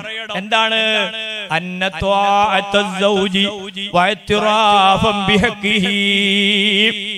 ഒരു ഭർത്താവിന് വേണ്ട പോലെ അനുസരിച്ച് കടമകൾ പാലിച്ചുകൊണ്ടങ്ങ് ജീവിച്ചാൽ ഈ പറഞ്ഞ എല്ലാ പ്രതിഫലത്തോടും കടപിടിക്കുമെന്ന് മുഹമ്മദ് റസൂലുള്ളാഹി സല്ലല്ലാഹു അലൈഹി വസല്ലം പഠിപ്പിച്ചു. അപ്പൊ സന്തുഷ്ടകരമായ കുടുംബജീവിതം നയിക്കാൻ രണ്ട് പേരും രണ്ട് കൂട്ടരും അവരവരുടെ മഹത്വങ്ങളും അവരവരുടെ അവകാശങ്ങളും പഠിക്കുക. ഒന്ന് മറ്റൊന്ന് സ്വഭാവം നന്നാക്കുക. സ്വഭാവം നന്നാക്കുക. ഒരാൾ പെണ്ണുങ്ങളെ തല്ലുന്ന ഇടക്കിടക്ക് അടികൂടും അങ്ങനെയുള്ള ഒരു ഭർത്താവിനെ വിളിച്ചിട്ട് ഉപദേശിച്ച് മോനെ പെണ്ണിന്റെ അമ്മോശൻ തന്നെ വിളിച്ച് പറയാ മോനെ. ഈ പെണ്ണുങ്ങൾ അടിക്കുന്ന പരിപാടി എന്നൊരു നല്ല പരിപാടി അല്ലട്ടോ. എന്ന് പറഞ്ഞപ്പോ ഭർത്താവിന്റെ പ്രതികരണം അപ്പ നാലെണ്ണം കിട്ടുമ്പോ ഒന്നെങ്കിലും കൊടുക്കണ്ടേ? ഈ പറഞ്ഞ പോലെ ആകുമ്പോ വിഷമാണ്. അപ്പൊ രണ്ട് ഭാഗവും സ്വഭാവം എല്ലാറ്റിലും വേണ്ട ഒന്നാണ് സൽ സ്വഭാവം. ഹബീബായ റസൂലുള്ളാഹി സല്ലല്ലാഹു അലൈഹി വസല്ലമ തങ്ങൾ നബി സല്ലല്ലാഹു അലൈഹി വസല്ലമ തങ്ങൾ നന്മയും തിന്മയും തൂക്കുന്ന തുലാസ്. ആ തുലാസിൽ ഏറ്റവും ഭാരം കൂടുന്നത് എന്ന് പഠിപ്പിച്ച ഒരു വിഷയമുണ്ട്. അത് സൽ സ്വഭാവമാണ്. അള്ളാഹുവിന്റെ ഹബീബ് സല്ലല്ലാഹു അലൈഹി വസല്ലമയുടെ പത്നിമാരിൽപ്പെട്ട ഒരു പത്നി. ഇങ്ങനെ ഇരുന്ന് ചിന്തിക്കുമ്പോ പല കാര്യങ്ങളും മനസ്സിൽ വന്നു. ആ കൂട്ടത്തിൽ സ്വർഗത്തിനെ പറ്റിയും അതിലുള്ള അനുഭൂതികളെ പറ്റിയെല്ലാം ഇങ്ങനെ ചിന്തിച്ചു. ഫിൽ ജന്ന ഖൈറും മിനദ് ദുനിയാ വമാ ഫീഹാ. സ്വർഗത്തിൽ ഒരു ചാട്ടവാറ് വെക്കാനുള്ള സ്ഥലം അത് ദുനിയാവിനെക്കാളും അതിലുള്ള എല്ലാ വസ്തുക്കളെക്കാളും ഉത്തമമാണ്. എന്നിങ്ങനെ തുടങ്ങിയിട്ട് സ്വർഗത്തിനെ പറ്റിയും അതിലുള്ള അനുഭൂതികളെ പറ്റിയൊക്കെ ഇങ്ങനെ ചിന്തിക്കുമ്പോ ഈ പത്നിയുടെ പ്രവാചക പത്നിയുടെ മനസ്സിൽ കടന്നു വരുന്ന ചിന്ത ഒരു പെണ്ണ്. ആ പെണ്ണിനൊരു ഭർത്താവ് ഉണ്ടായിരുന്നു. ആ ഭർത്താവ് മരണപ്പെട്ടു? അതിന്റെ ശേഷം മറ്റൊരു ഭർത്താവിനെ സ്വീകരിച്ചു. അയാളും മരണപ്പെട്ടു? പരലോകത്തെത്തിയപ്പോൾ സ്വർഗത്തിലെത്തിയപ്പോൾ രണ്ട് ഭർത്താക്കന്മാരും സ്വർഗത്തിലുണ്ട് ഭാര്യയും സ്വർഗത്തിലെത്തിയിട്ടുണ്ട്. എന്നാൽ ആ സ്വർഗത്തിൽ ആരെയാണ് ഭർത്താവായി കിട്ടുക? ഇതാണ് പ്രവാചക പത്നിയുടെ മനസ്സിൽ വന്ന ചിന്ത. ഹബീബായ റസൂലുള്ളാഹി സ്വല്ലല്ലാഹു അലൈഹി വസല്ലം. തങ്ങളോട് ഈ ചോദ്യം അങ്ങ് ചോദിക്കുന്നു നിങ്ങൾ ചിന്തിക്കണം. സാധാരണ ഒരു ചോദ്യമല്ല ഒരു പെണ്ണ്. ആ പെണ്ണിന്റെ രണ്ട് ഭർത്താക്കന്മാര് സ്വർഗത്തിലെത്തി. സ്വർഗത്തിൽ ആരെയാണ് ഈ പെണ്ണിനിക്ക് ഭർത്താവായിട്ട് കിട്ടുക? ഉടനെ തന്നെ റസൂലുള്ളാന്റെ മറുപടി എന്താണെന്നറിയോ? കൂടുതൽ നിസ്കാരമുള്ള ഭർത്താവ് എന്ന മറുപടിയല്ല. കൂടുതൽ നോമ്പ് നോൽക്കുന്ന ഭർത്താവ് നോറ്റ ഭർത്താവ് എന്നല്ല. ധാരാളം ഉംറകളും ഹജ്ജുകളും ചെയ്ത ഭർത്താവ് എന്നല്ല. നബി സല്ലല്ലാഹു അലൈഹി വസല്ലമ പത്നിയോട് പറയുന്നു ആ ഭർത്താക്കന്മാരെ കൂട്ടത്തിൽ ആരാണോ നല്ല സ്വഭാവത്തിന്റെ ഉടമ. അവരാണ് അവരെയാണ് സ്വർഗത്തിൽ കിട്ടുക. ഷഫീഉനാ റസൂലുള്ളാഹി. സന്തുഷ്ട കുടുംബ ജീവിതത്തിൽ വളരെ മർമ്മപ്രധാനമായ ഒരു പോയിന്റാണിത് രണ്ട് കൂട്ടരും സൽ സ്വഭാവികളായി മാറുക. പരസ്പരം അങ്ങോട്ടും ഇങ്ങോട്ടും വിട്ടുവീഴ്ചകൾക്ക് തയ്യാറാവുക. നാട് ഭരിക്കുന്ന കാലം ഒരാൾ ഫാറൂഖ് റളിയല്ലാഹു തആല അൻഹുവിന്റെ വീട്ടിലേക്ക് വന്നു. എന്തിനു വേണ്ടിയാണെന്നല്ലേ? തന്റെ ഭാര്യയുടെ ചില വേണ്ടാത്ത സ്വഭാവങ്ങൾ തന്നെ വേർപ്പിക്കുന്ന ചില സ്വഭാവങ്ങൾ ഇതിനെപ്പറ്റി ചെറിയ ഒരു ശിക്കായത്ത് ഒരു കംപ്ലൈന്റ് ഉമറിനോട് പറഞ്ഞാൽ എന്തെങ്കിലും ഒരു പരിഹാരം ഉണ്ടാകുമെന്ന നിലയ്ക്ക് തആലാനുവിന്റെ അടുക്കൽ വന്ന് ഇയാൾ വാതിക്കൽ ഇങ്ങനെ നിന്ന് നോക്കുമ്പോ ഉമർ വീട്ടിൽ നിന്നോ ഉമറിനോട് കാര്യമായി വീട്ടിൽ നിന്ന് തന്റെ ഭാര്യ ശകാരിച്ചു കൊണ്ടിരിക്കുന്ന രംഗ കാണുന്നത്.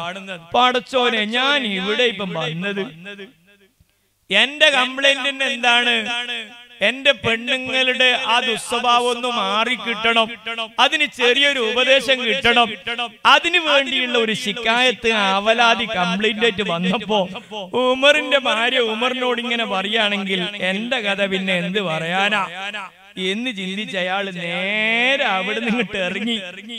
ഇറങ്ങി പോകുമ്പോ ഉമറുൽ ഫാറൂഖ് റളിയല്ലാഹുവിന്റെ ശ്രദ്ധയിൽ ഇത് പെട്ടുപോയി. ഒരാൾ പെട്ടെന്ന് വന്നിട്ട് പോന്നിറങ്ങ അയാളെ തിരിച്ചു എന്താ സഹോദരങ്ങൾ പോന്നത്? ഒന്നുമല്ല. ഞാൻ വന്നത് എന്റെ ഭാര്യയുടെ ദുസ്വഭാവത്തിനെ പറ്റി അങ്ങയോട് ഒരു ചെറിയ കംപ്ലൈന്റ് പറയാൻ വേണ്ടിട്ടാ അപ്പൊ ഇവിടെ കാണുന്നത് നേരെ മറിച്ചാണല്ലോ. അതുകൊണ്ട് പോയതാ. ആ സമയം. ഖത്താബ്. ഇസ്ലാമിക് റിപ്പബ്ലിക്കിന്റെ രണ്ടാമത്തെ ഭരണാധികാരി. പേര് കേട്ടാൽ കിസ്റ കൈസർ വിറയൽ കൊള്ളുന്ന ഭരണാധികാരി. ആ സഹോദരനോട് പറയുന്നു സഹോദരാ സഹോദരാ നീ അല്പമൊന്ന് ചിന്തിക്കണേ. നീ അല്പമൊന്ന് മനസ്സിലാക്കണേ. നിന്റെ ആവശ്യം എന്താണെന്ന് ചോദിച്ചപ്പോ എന്റെ ആവശ്യം ഇന്നതാണെന്ന് മറുപടി പറഞ്ഞപ്പോ മഹാനായ ഉമറുൽ ഫാറൂഖ് റളിയല്ലാഹു തആല എന്ന് പറഞ്ഞു ഇന്നഹാല തബ്ബാഹത്തുൽ ലിത്വാമി ആ ഭാര്യയാണ് എനിക്ക് ഭക്ഷണം പാചകം ചെയ്തു തരുന്നത്. ഖബ്ബാസത്തുൽ ഖുബ്സി എനിക്ക് പത്തിരി ചുട്ടു തരുന്നത്. ഈ ഭാര്യയാണ്. വസാലത്തുൽ സിയാബി. എന്റെ വസ്ത്രം എനിക്ക് കഴുകിത്തരുന്നത് അവളാണ് മുറുളിയത്തുല്ലി വലതി എന്റെ. എന്റെ. മോന് മുല കൊടുക്കുന്നത് ആ പെണ്ണാണ് ഭാര്യയാണ് അതിന്റെ ഒക്കെ പുറമേ അതിന്റെ ഒക്കെ പുറമേ എന്നെ ഹറാമിനെ തൊട്ട് കാക്കുന്നത് അവളാണ്. അതുകൊണ്ട് തന്നെ ചെറിയ ചെറിയ എന്തെങ്കിലും ഉണ്ടാകുമ്പോ ഞാൻ അതൊക്കെ ക്ഷമിക്കലാണ് മോനെ. ഞാൻ അതൊക്കെ ക്ഷമിക്കലാണ് സഹോദരാ. എന്ന് പറഞ്ഞപ്പോ ഈ ചെറു ഈ വന്ന ആഗതൻ എന്നാ ശരി ഞാനും അങ്ങനെ തന്നെ ചെയ്തോളാം. എന്ന് എന്ന് പറഞ്ഞുകൊണ്ട് സന്തോഷത്തോടെ തിരിച്ചു പോയത്. അപ്പൊ ഭാര്യ ഭർത്തൃ ആ കുടുംബ ജീവിതത്തിൽ ചിലപ്പോ അങ്ങോട്ടും ഇങ്ങോട്ടും ഒക്കെ ചെറിയ പ്രശ്നങ്ങളൊക്കെ ഉണ്ടാവുക. സ്വാഭാവികമാണ്. അത് രണ്ടു കൂട്ടരും ക്ഷമിക്കണം. മഹാനായ സയ്യിദ് സുൽത്താനുൽ അരിഫീൻ അഹമ്മദുൽ കബീർ റിഫായി റളിയല്ലാഹു തആല. അഹമ്മദുൽ കബീർ റിഫായി റളിയല്ലാഹു തആല അന്നുവിനെ അദ്ദേഹത്തിന്റെ മുരീദുമാരുടെ കൂട്ടത്തിൽപ്പെട്ട ഒരാൾ ഇടക്കിടക്ക് സ്വപ്നം കാണും. സ്വപ്നം കാണുന്നത് ഇന്നൽ മുത്തഖീന ഫീ ജന്നാത്തിൻ വനഹർ. ഫീ മഖഅദി സിദ്ഖിൻ ഇൻദ മലീകിൻ മുഖ്തദിർ. മുത്തക്കീങ്ങളെ വർണിച്ചുകൊണ്ട് ഖുർആൻ പറഞ്ഞില്ലേ? ആ നിലക്കുള്ള ഉന്നതമായ പവറിൽ ബഹുമാനപ്പെട്ട അഹമ്മദുൽ കബീർ റിഫാഇ റളിയല്ലാഹു തആലാനുവിന് സ്വപ്നം കാണും. ഈ ഒരു രംഗം സ്വപ്നത്തിൽ കണ്ട ഈ രംഗം ഷെയ്ഖിനോടൊന്ന് പറയണമെന്ന് പലപ്പോഴും ഉദ്ദേശിച്ചു. സന്ദർഭം ചാൻസ് കിട്ടാറില്ല. അങ്ങനെ അതങ്ങ് ഇത്തരത്തിലുള്ള ഈ സന്ദർഭങ്ങളിൽ ഞാൻ ക്ഷമിക്കുന്നത് കൊണ്ടാണ് മഹാനായ അവിടുത്തെ ഇർഷാദുൽ ഇബാദിൽ രേഖപ്പെടുത്തിയ ഒരു സംഭവത്തിലും കാണാം. രണ്ട് കൂട്ടുകാർ രണ്ടുപേരും നല്ല സഹോദരങ്ങളാണ്. അള്ളാഹുവിനെ ഭയന്നുകൊണ്ട് ജീവിക്കുന്ന ആളാണ്. രണ്ടാളും രണ്ട് സ്ഥലത്താണ്. എന്നാലും കൊല്ലത്തിൽ ഒരിക്കലെങ്കിലും ഒന്ന് കാണാൻ വേണ്ടി പോവും അങ്ങനെ ഒരു കൊല്ലം തന്റെ സഹോദര ഒരു കൊല്ലത്തിൽ ഒരിക്കൽ മാത്രം പോകുന്നത്. സഹോദരന്റെ വീട്ടിൽ ചെന്ന് വീട്ടിൽ വാതുക്കൽ മുട്ടി. മുട്ടിയപ്പോ ഉള്ളിൽ നിന്ന് ചോദിച്ചു ഭാര്യ ചോദിച്ചു ആരാ? നിങ്ങളുടെ ഭർത്താവിന്റെ ഇഷ്ടപ്പെട്ട കൂട്ടുകാരനാണ് അദ്ദേഹത്തെ സന്ദർശിക്കാൻ വേണ്ടി വന്നതാ. വാതിൽ തുറന്നിട്ട് ഈ പെണ്ണ് തുടങ്ങിയ വർത്താനം. ഭർത്താവിന്റെ കുറ്റങ്ങളല്ലാതെ ഒന്നും പറയുന്നില്ല. വിറക് ശേഖരിക്കാൻ വേണ്ടി പോയതാ. തിരിച്ചു വരാണ്ടായിപ്പോട്ടെ നടക്കമുള്ള വർത്തമാനങ്ങളൊക്കെ പറയാൻ ഈ ഭാര്യ മറന്നില്ല. അങ്ങനെ ഇയാൾ വെയിറ്റ് ചെയ്ത് ഇങ്ങനെ നിൽക്കുമ്പം കാണാ. ഈ സഹോദരൻ വരുന്നോ? വരുന്നത് എങ്ങനെയാണെന്നറിയോ? മുമ്പിലൊരു സിംഹമുണ്ട്. ആ സിംഹത്തിന്റെ മുകളിൽ വിറകിന്റെ കെട്ടുമുണ്ട്. അങ്ങനെ വന്ന് കണ്ട ഉടനെ തന്നെ സലാം പറഞ്ഞു. ഇയാൾ ഉടനെ തന്നെ വീട്ടിന്റെ ഉള്ളിലേക്ക് സഹോദരനെ കയറ്റിയിരുത്തി നന്നായി ഭക്ഷണമൊക്കെ കഴിപ്പിച്ചു. അപ്പോഴൊക്കെ ഭാര്യ നന്നായി ഇയാളെ കുറ്റങ്ങൾ ഇങ്ങനെ പറഞ്ഞുകൊണ്ടേയിരിക്കുന്നു. പക്ഷേ ഇയാൾ ഇതൊന്നും ശ്രദ്ധിക്കുന്നില്ല. അങ്ങനെ യാത്ര പറഞ്ഞു പോയി. ഒരു കൊല്ലം കഴിഞ്ഞു. രണ്ടാമത്തെ കൊല്ലവും ഇതേ സഹോദരൻ ഇയാളെ കാണാൻ വേണ്ടി വന്നു. അന്നും ഇയാൾ വിറക് സ്വീകരിക്കാൻ പോയിരിക്കുകയാണ്. മഹാനായ സൈനുദ്ദീനുൽ റളിയല്ലാഹു അൻഹു തന്റെ ഇർഷാദുൽ ലിബാദിൽ ഈ ചരിത്രം രേഖപ്പെടുത്തി വെച്ചിട്ടുണ്ട്. വാതിലിന് മുട്ടി. വാതിൽ തുറന്നു. ഇന്നയാളാണെന്ന് പറഞ്ഞു. അന്ന് നോക്കുമ്പോൾ ഭാര്യ ചേഞ്ചായി ചേഞ്ചായിട്ടുണ്ട് ആൾ മാറിയിട്ടുണ്ട്. നല്ല ഗുണങ്ങളാണ് ഭർത്താവിനെ പറ്റി പറയുന്നത്. ഒരുപാട് പോലീസുകളാണ് പറയുന്നത്. കുറച്ചു കഴിഞ്ഞപ്പോൾ അതാ വരുന്നു ഭർത്താവ്. പക്ഷേ കഴിഞ്ഞ പ്രാവശ്യം വന്നതുപോലെ സിംഹപുറത്തല്ല സിംഹപുറത്ത് ആ പെണ്ണുങ്ങളെ ഭാഗത്തേക്ക് ബക്കറ്റ് പോകുന്നുണ്ട്. എല്ലാരും വേണ്ട പോലെ നല്ല പോലെ സഹായിക്കുക. അള്ളാഹു എല്ലാവർക്കും അർഹമായ പ്രതിഫലം നൽകും. അനുഗ്രഹിക്കുമാറാവട്ടെ. നേരത്തെ കഴിഞ്ഞ കൊല്ലം നോക്കുമ്പോ ഈ വാഹനപ്പുറത്ത് സിംഹത്തിന്റെ പുറത്ത് വിറകും ചുമന്നിട്ടാ വന്നത്. ഇന്ന് അയാൾ എന്നെ ചുമന്നിട്ടാ വന്നത്. വന്ന ഉടനെ തന്നെ എല്ലാ ആദിത്യ മര്യാദകളോടുകൂടെ അവിടെ ഇരുന്ന് ഭക്ഷണമെല്ലാം കഴിച്ചു. തിരിഞ്ഞ് പിരിഞ്ഞു പോകുമ്പോ പിരിഞ്ഞു പോകുമ്പോ ചോദിച്ചു അല്ല കഴിഞ്ഞ വർഷം ഞാൻ വരുമ്പോൾ നിങ്ങൾ സിംഹത്തിന്റെ മുകളിൽ വിറക് കെട്ടുമായിട്ടല്ലേ വന്നത്. ഇപ്പൊ അത് കണ്ടില്ലല്ലോ. അപ്പോൾ ആ സഹോദരൻ പറഞ്ഞ മറുപടിയും മറ്റൊന്നല്ല. ആ ഭാര്യ അവൾ ദുസ്വഭാവിയായിരുന്നു. നാക്ക് കൊണ്ട് വല്ലാതെ എന്നെ ബുദ്ധിമുട്ടിക്കാറുണ്ടായിരുന്നു. ഞാനതെല്ലാം ക്ഷമിക്കലാണ് പതിവ്. അതുകൊണ്ട് തന്നെ സിംഹത്തിന്റെ പുറത്ത് വിറക് സ്വീകരിക്കുന്ന പവറിലൊക്കെ ഞാനെത്തി. ഇപ്പൊ ഉള്ള ഭാര്യ നല്ല ഭാര്യയാണ്. ഒരു ബുദ്ധിമുട്ടുമില്ല. അപ്പൊ യാതൊരു വിഷമവും ഇല്ല അപ്പൊ എന്റെ കഥ ഇതാണ് ഞാൻ പറഞ്ഞു വരുന്നത്. നല്ലവരായ കൂട്ടുകാരെ നല്ലവരായ ചെറുപ്പക്കാരെ സന്തുഷ്ടകരമായ കുടുംബ ജീവിതം നയിക്കുന്നത് നന്നാക്കണം എന്ന ചിന്തയിലേക്ക് നീ എത്തണം.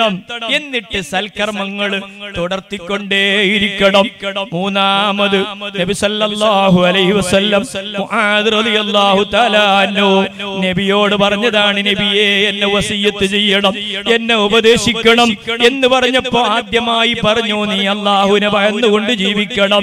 വീണ്ടും മുആദ് നബിയോട് ആവശ്യപ്പെട്ടു നബിയെ ഇനിയും എന്നെ ഉപദേശിക്കണം. രണ്ടാമത് പറഞ്ഞ ഉപദേശമാണ് എന്തെങ്കിലും തെറ്റ് കുറ്റങ്ങൾ നിന്നിൽ നിന്ന് വന്നു പോയാൽ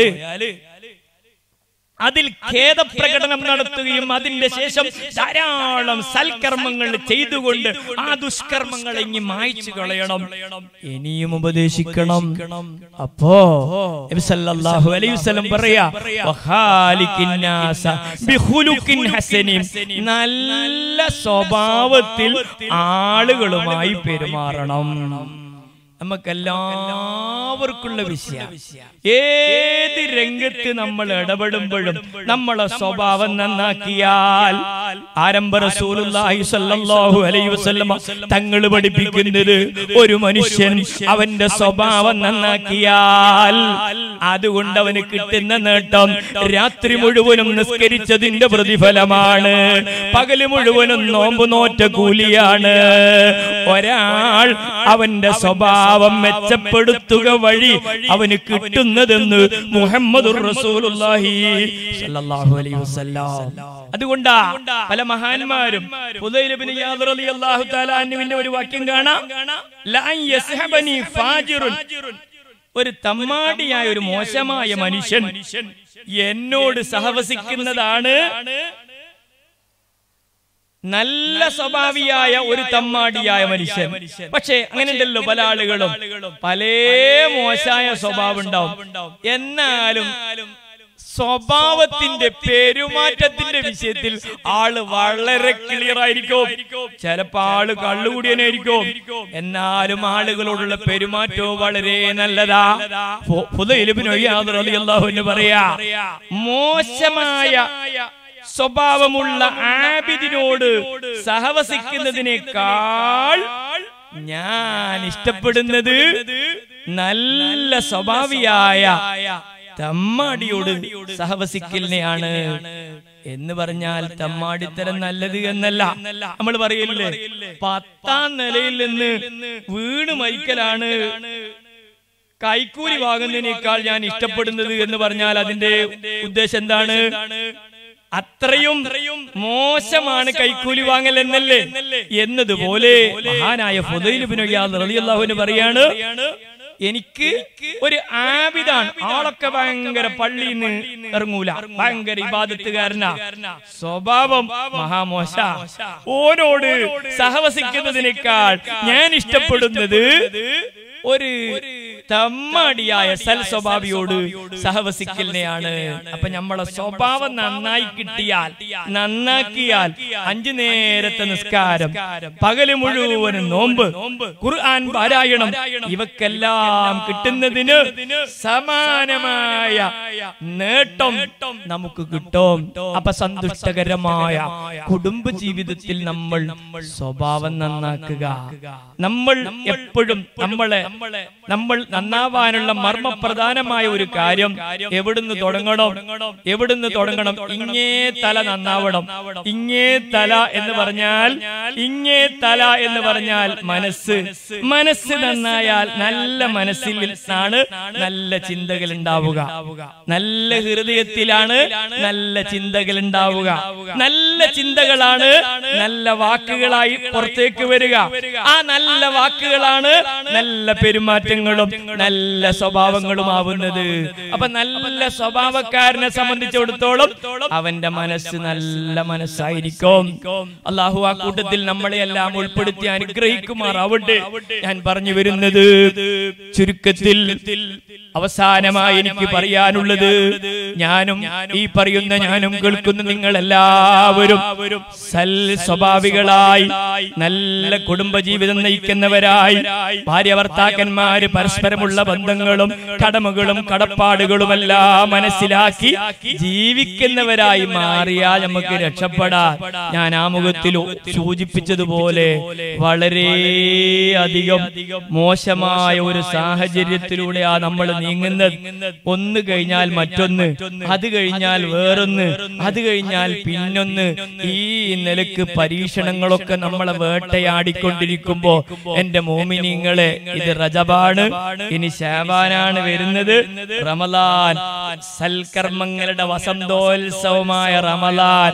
നമ്മളെ കാത്തിരിക്കുന്നു. അതുകൊണ്ട് ഈ പരീക്ഷണങ്ങൾ കൊറോണ വൈറസ് അടക്കമുള്ള ഈ മാരകമായ രോഗങ്ങളെ സംബന്ധിച്ചൊക്കെ കേൾക്കുമ്പോ നമ്മളെല്ലാവരും എനിക്കൊന്ന് നന്നാവണം. എന്റെ മനസ്സൊന്ന് ശുദ്ധിയായി കിട്ടണം. എന്റെ കൽവൊന്ന് റാഹത്തായി കിട്ടണം. എന്ന നല്ല ചിന്തയിലേക്ക് നമ്മൾ എത്തണം ഞാൻ ആമുഖമായി സൂചിപ്പിച്ചതുപോലെ നമ്മുടെ ഈ നാട് അത്തിക്കമജൽ എന്ന് പറയുന്ന ഈ പ്രദേശം ഒരു മഹാനായ വലിയന്റെ അത് തന്നെ അഹുലിബൈത്തിൽപ്പെട്ട ഒരു മഹാന്റെ അന്ത്യവിശ്രമം കൊണ്ട് അനുഗ്രഹീതമായ മണ്ണാണ്. നമ്മൾ ഈ നാടിനെ ഉഷാറാക്കിയെടുക്കണം. പല നാടുകളും നിങ്ങൾ കാണാറില്ലേ? ഏതെങ്കിലും ഒരു നല്ല മഹാൻ അവിടെ അന്ത്യവിശ്രമം കൊള്ളുന്നുവെങ്കിൽ ആ നാട് അറിയപ്പെട്ട പ്രദേശമായി മാറുന്നു എന്ന് മാത്രമല്ല. ഒരുപാട് ദീനീ സംരംഭങ്ങൾ ഒരുപാട് ദീനീ സ്ഥാപനങ്ങൾ. അതുപോലെ ആ മഹാനരുടെ പേരിൽ ആഴ്ചയിലോ മാസത്തിലോ ഏതെങ്കിലും മജിലിസിന്റെ പേരിൽ ഒത്തുകൂടൽ ആ നാട്ടിലുള്ള യുവാക്കളെല്ലാം അതിനോട് സഹകരിക്കുന്നു അതിനോട് സഹവസിക്കുന്നു. നാട്ടിലെന്നും ഞമ്മക്ക് എന്ത് പ്രശ്നങ്ങൾ ഉണ്ടെങ്കിലും ആ മഹാന്റെ ദർബാറിൽ ചെന്നുകൊണ്ട് അർഹമുറാഹിമായ റബ്ബിനോട് പറയാ എന്ന ഒരു വിശ്വാസം വെള്ളാരയിലുള്ള ആളുകൾ വെള്ളാര മഹൽ ജമാഅത്തിൽപ്പെട്ട ആളുകൾ എല്ലാ ദിവസവും സ്വബഹിന്റെ ശേഷം അവിടെ സിയാറത്ത് കൂട്ടമായ സിയാറത്തുണ്ട്. വെള്ളിയാഴ്ച രാത്രിയിൽ കൂട്ട സിയാറത്തുണ്ട്. വെള്ളിയാഴ്ച ജുമാന്റെ ശേഷം സിയാറത്തുണ്ട്. ഞാൻ എന്റെ നല്ലവരായ നാട്ടുകാരോട് പറയുന്നു നമുക്ക് രക്ഷപ്പെടണോ? നമുക്ക് രക്ഷപ്പെടണോ? തക്കുവായിൽ അധിഷ്ഠിതമായ ജീവിതം നയിക്കലല്ലാതെ നമുക്കൊരു രക്ഷയുമില്ല നമ്മൾ എന്തിനു വേണ്ടിയാണ് സമ്പാദിക്കുന്നത്? എന്തിനു വേണ്ടിയാണ് പരിശ്രമിക്കുന്നത്? നമ്മളെ മക്കൾക്ക് വേണ്ടിയോ? ഞാൻ നേരത്തെ പറഞ്ഞ മഹാനായ സയ്യിദുന അബ്ദുൽ അസീസ് റളിയല്ലാഹു അൻഹു മരിക്കുന്ന സമയം മരിക്കുന്ന സമയം മഹാനായ ഉമർ അബ്ദുൽ അസീസ് റളിയല്ലാഹു തആല അൻഹുവിനോട് ചോദിച്ചു മക്കൾക്ക് വേണ്ടി നിങ്ങൾ എന്താ സമ്പാദിച്ചു വെച്ചത്? മഹാനവറുകൾ പറഞ്ഞു അത്തക്കുവ.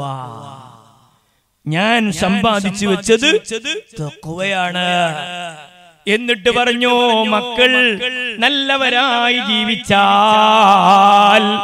അള്ളാഹു അവരെ കാര്യം ഏറ്റെടുത്തുകൊള്ളും.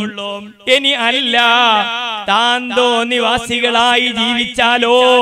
അങ്ങനെയുള്ള മക്കൾക്ക് ഒരു നയാകാശമില്ല. ചരിത്രം പരിശോധിച്ചാ കാണാ.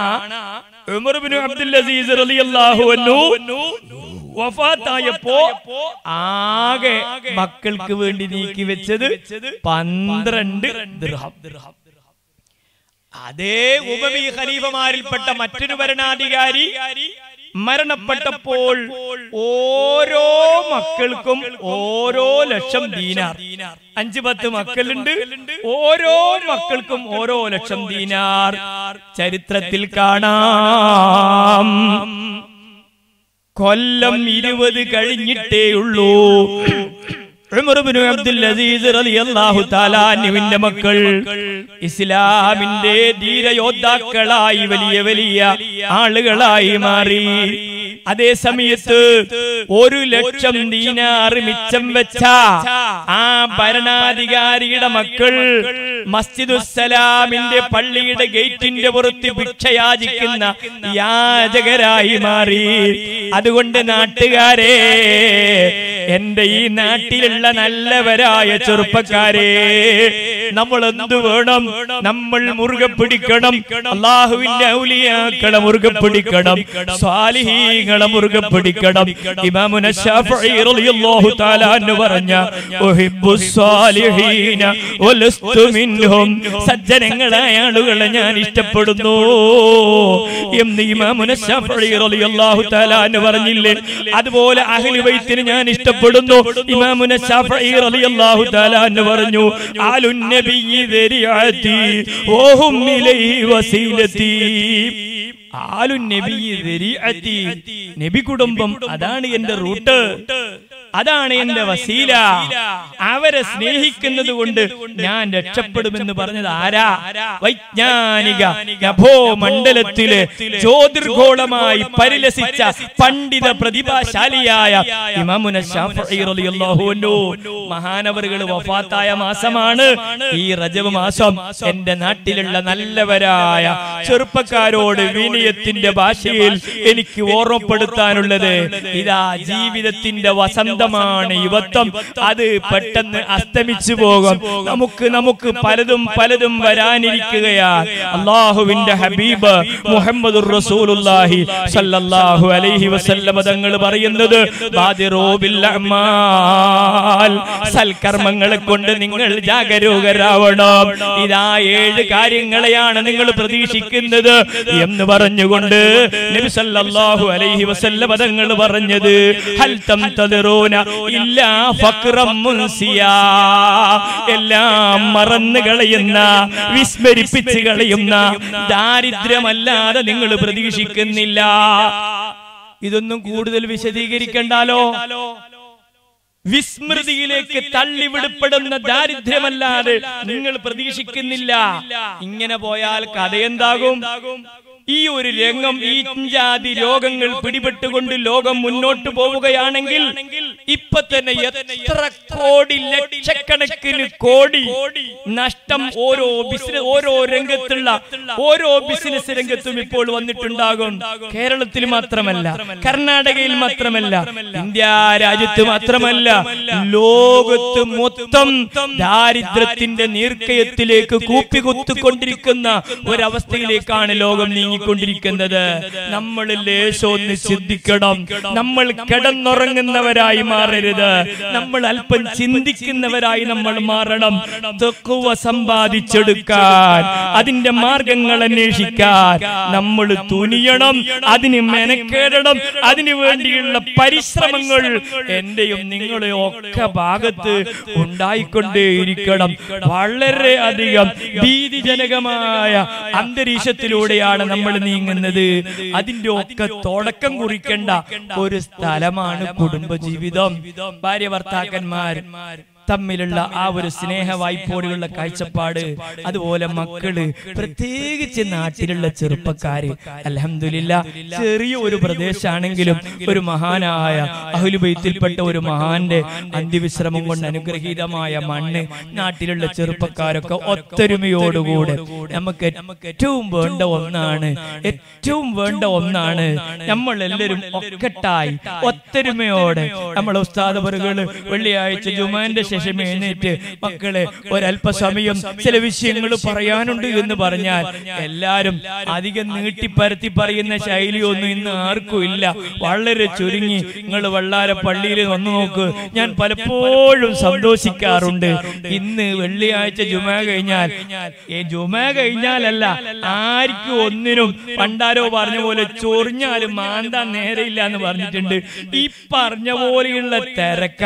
ഞാൻ പലപ്പോഴും അവിടെ ജുമാ നിസ്കാരം കഴിഞ്ഞ് ജുമാ നിസ്കാരം കഴിഞ്ഞ് ഒന്നാമത്തെ തുക കഴിഞ്ഞാൽ ഒരു പത്തോ പതിനഞ്ചോ മിനിറ്റ് ഞാൻ സംസാരിക്കാറുണ്ട്.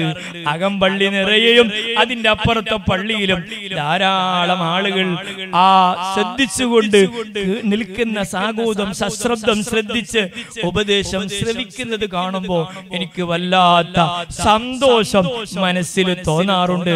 അള്ളാഹു അത് എന്തെന്നും നിലനിർത്തി തരുമാറാവട്ടെ. ഞാൻ പറഞ്ഞത് പറഞ്ഞു വരുന്നത് നമ്മളെ ഓരോ മഹല്ലും ഓരോ ജമാഅത്തും നല്ല നമ്മുടെ നാട്ടിലുള്ള കാരണവന്മാർ ഇരിയവരായ ആളുകൾ വലിയവരായ ആളുകൾ അവരൊക്കെ ബഹുമാനിച്ച് അവരോടൊക്കെ ഉപദേശം തേടി ഒക്കെ പ്രവർത്തിക്കുന്ന നല്ലവരായ ചെറുപ്പക്കാർ രംഗത്ത് വരണം. അലഹമില്ല ഈ ഉറൂസ് കമ്മിറ്റിയുടെ ഭാഗമായിട്ടും അല്ലാതെയും ഒക്കെ ഈ നാട്ടിൽ ധാരാളം ചെറുപ്പക്കാരുണ്ട്. നല്ല പ്രവർത്തകന്മാരുണ്ട് എന്ന് എനിക്കറിയാം എങ്കിൽ കൂടെ പറയട്ടെ. എല്ലാവരും ഒറ്റക്കെട്ടായി. മഹാനായ ഹബീബ് മുഹമ്മദ് റസൂലുള്ളാഹി സല്ലല്ലാഹു അലൈഹി വസല്ലമ തങ്ങൾ പറഞ്ഞത് മൻ അറാദ അയ്യസ്കുര ബുഹൂഹത്തൽ ജന്ന സ്വർഗത്തിന്റെ സെന്ററിൽ സ്വർഗത്തിന്റെ വസ്തിൽ താമസിക്കണമോ? സ്വർഗത്തിന്റെ നടുവിൽ താമസിക്കണമെന്ന് വല്ലവനും ലക്ഷ്യമിടുന്നുണ്ടോ? അവൻ ജമാഅത്തിനെ അവലംബമാക്കി കൊള്ളട്ടെ മഹാനായ സയ്യിദുന പലപ്പോഴും ഹുത്തുവയിൽ ജനങ്ങളെ ഉത്ബോധനം നടത്താറുള്ള കാര്യം ഇതാ ജനങ്ങളെ നിങ്ങൾ ഐക്യത്തോടെ നിങ്ങൾ ഒറ്റക്കെട്ടായി മുന്നേറണം.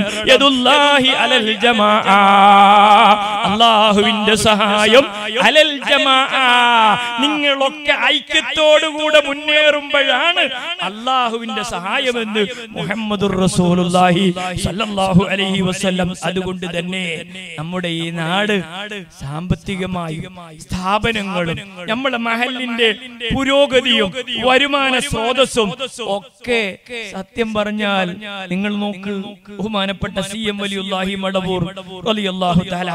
അങ്ങനെ തുടങ്ങിയിട്ട് കേരളത്തിന്റെ ഒരറ്റം മുതൽ മറ്റേ അറ്റം വരെ ഒരു സവാരി ഒരു ഒരു യാത്ര നടത്തിയാൽ എത്ര എത്ര സ്ഥലാണ് അള്ളാഹുവിന്റെ ഔലിയാക്കൾ അന്ത്യവിശ്രമം കൊള്ളുന്ന സ്ഥലം ഒരു വലിയ ഒരു അങ്ങാടിയായിട്ട് അങ്ങോട്ട് മാറുക. അതെന്തുകൊണ്ട് സംഭവിക്കുന്നു? നമ്മൾ അവിടെ കിടക്കുന്ന മഹാനരോടുള്ള ആദരവിന്റെ ഭാഗമായി നമ്മൾ ക്രിയാത്മകമായി പ്രവർത്തന രംഗത്ത് മുന്നേറുമ്പോ അള്ളാഹുവിങ്കിൽ നിന്നുള്ള സഹായം നമുക്ക് ഉണ്ടാവുന്നു അപ്പൊ ഞമ്മക്കും അഭിമാനത്തോടെ നമ്മളെ നാട് അഹുരുബൈത്തിൽപ്പെട്ട ഒരു മഹാൻ അന്ത്യവിശ്രമം കൊള്ളുന്ന നാട്. അതിന്റെ ഭാഗമായി നല്ല ദീനി സംരംഭങ്ങളൊക്കെ നമ്മളും പടുത്തുയർത്തണം. നമ്മുടെ നാട്ടിന്റെ വരുമാന സ്രോതസ്സായത് മാറണം. അതിന് നമ്മളൊക്കെ സഹകരിക്കണം. നാട്ടിലുള്ള ആബാലവൃതം ജനങ്ങളുടെ സഹായം അതിന്റെ പിന്നിലുണ്ടാവണം നിങ്ങൾക്കൊക്കെ നേതൃത്വം നൽകാനൊക്കെ പറ്റിയ നേതാക്കളെല്ലാം ഉള്ള ഒരു നാട് തന്നെയാണ് ഈ നാട്.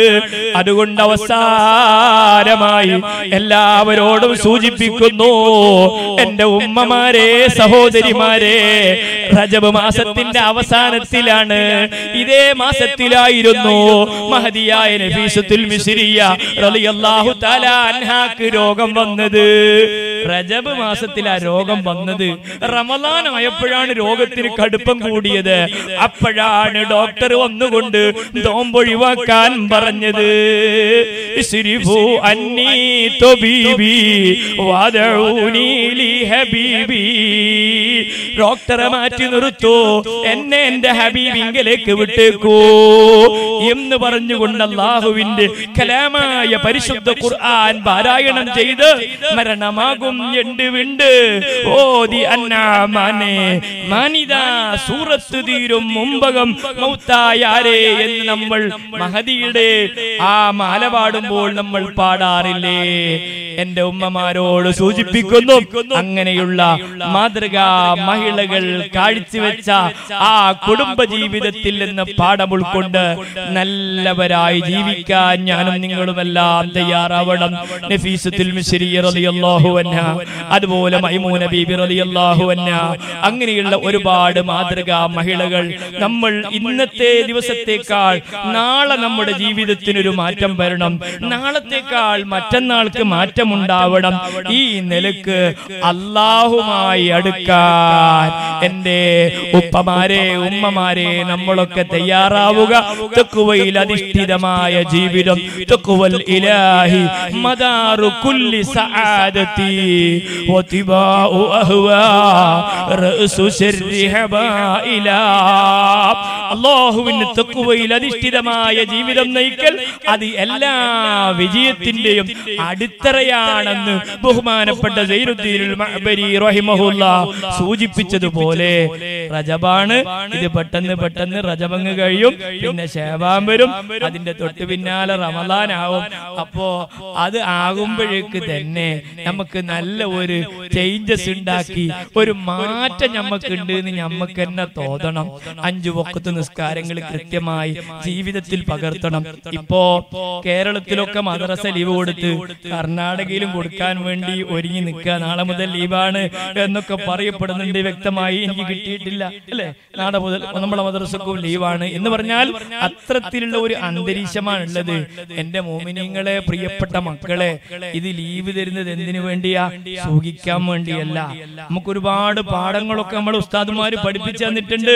അത് നന്നായി പഠിക്കാനും അതോടൊപ്പം നമ്മൾ ഇത്തരത്തിലുള്ള വിഷമങ്ങളിൽ നിന്ന് കരകയറാനുള്ള മാർഗം നമ്മൾ സ്വയം നന്നാവുക. ഒന്നും രണ്ടും പരീക്ഷണങ്ങളൊന്നും അല്ല ഒരുപാട് പൗരത്വ ബില്ലിന്റെ ആ ഒരു ഭാഗത്ത് അങ്ങനെ കിടക്കുന്നുണ്ട്. നമ്മളൊക്കെ ഇന്ത്യ രാജ്യത്തിന് വേണ്ടി നമ്മുടെ പൂർവീകരായ മുസ്ലിമീങ്ങളൊക്കെ എത്ര കഠിനാധ്വാനം ചെയ്തിട്ടുണ്ട്. എന്നിട്ട് ഒരു വേള നമ്മുടെ പേരിൽ മുസ്ലിമീങ്ങൾക്കെതിരെ ഒരുപാട് പ്രശ്നങ്ങളൊക്കെ വന്നുകൊണ്ടിരിക്കുക. ഇതിലൊക്കെ രക്ഷപ്പെടുത്താൻ രാജാതി രാജനായ റബ്ബിന്റെ സഹായം അല്ലാതെ വേറെ ഒരു സഹായവും ഇല്ല. അതുകൊണ്ട് ഇനിയുള്ള നാളുകളിൽ ആ വൈറസ് നമ്മുടെ നാടുകളിലേക്കൊന്നും എത്താതിരിക്കാനുള്ള ആത്മാർത്ഥമായ ദുആ നമ്മുടെ വീടുകളിൽ വെച്ച് നമ്മൾ നടത്തിക്കൊണ്ടേയിരിക്കുക ഈ സമുദായത്തിന്റെ അവസാനം നന്നാവുകയില്ല. ആദ്യ വിഭാഗം. എന്തുകൊണ്ടാണോ അവർ നന്മ കൈവരിച്ചത്? അതുകൊണ്ടല്ലാതെ നന്നാവൂല എന്ന് ഹബീബായ റസൂലുള്ളാഹി സല്ലല്ലാഹു അലൈഹി വസല്ലം തങ്ങൾ പഠിപ്പിച്ചതാ. അതുകൊണ്ട് മുൻഗാമികളായ ആളുകൾ എങ്ങനെ നന്നായോ? അതുകൊണ്ട് മാത്രമേ നമ്മളും നന്നാവൂ. അവരെ പാത സമ്പൂർണമായി പിൻപറ്റുക. അഹ്ലു സുന്നത്തി വൽ ജമാഅത്തിന്റെ ആശയം നന്നായി മുറുകെ പിടിക്കുക. എന്റെ പ്രിയപ്പെട്ട ചെറുപ്പക്കാര് പള്ളിയിൽ നിന്ന് ബാങ്ക് കേൾക്കുന്നുണ്ടെങ്കിൽ സ്വബഹിന്റെ ജമാഅത്തിനൊക്കെ വരിക.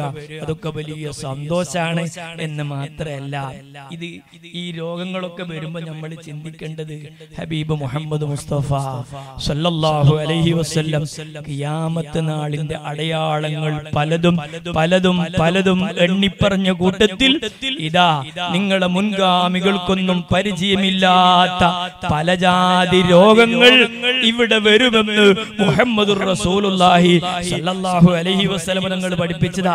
പണ്ടും കുറെ വബാകുകളൊക്കെ വന്നിരുന്നു.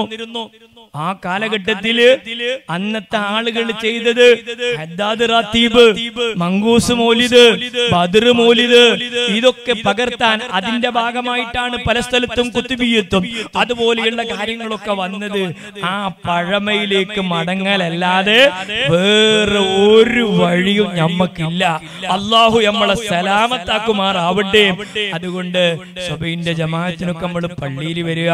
അള്ളാഹുവിന്റെ കലാമായ ഖുർആൻ ഓതുക ആവശ്യമായ അറിവുകൾ നമ്മൾ പഠിച്ചെടുക്കുക. ഇങ്ങനെ ഒരു നല്ല മാറ്റങ്ങൾ പ്രത്യേകിച്ച് അതിനൊക്കെ മുന്നോട്ട് വരേണ്ടത്. നന്നായി മുന്നോട്ട് വരേണ്ടത് നമ്മളെ പ്രിയപ്പെട്ട ചെറുപ്പക്കാരാ. ഏത് പ്രദേശത്ത് ചെന്നാലും അള്ളാഹുവിനെ പേടിക്കുന്ന നമ്മൾ സമുദായത്തിന് വേണ്ടി എന്തെങ്കിലും ഒരു സേവനങ്ങളൊക്കെ ചെയ്യണം. നമ്മൾ ഇങ്ങനെ അടങ്ങി ഇരുന്നാ പോരാ. സമൂഹത്തിന് വേണ്ടി സമുദായത്തിന് വേണ്ടി പാവങ്ങൾക്ക് വേണ്ടി അഗതികൾക്ക് വേണ്ടി നമുക്ക് സേവനം ചെയ്യണം.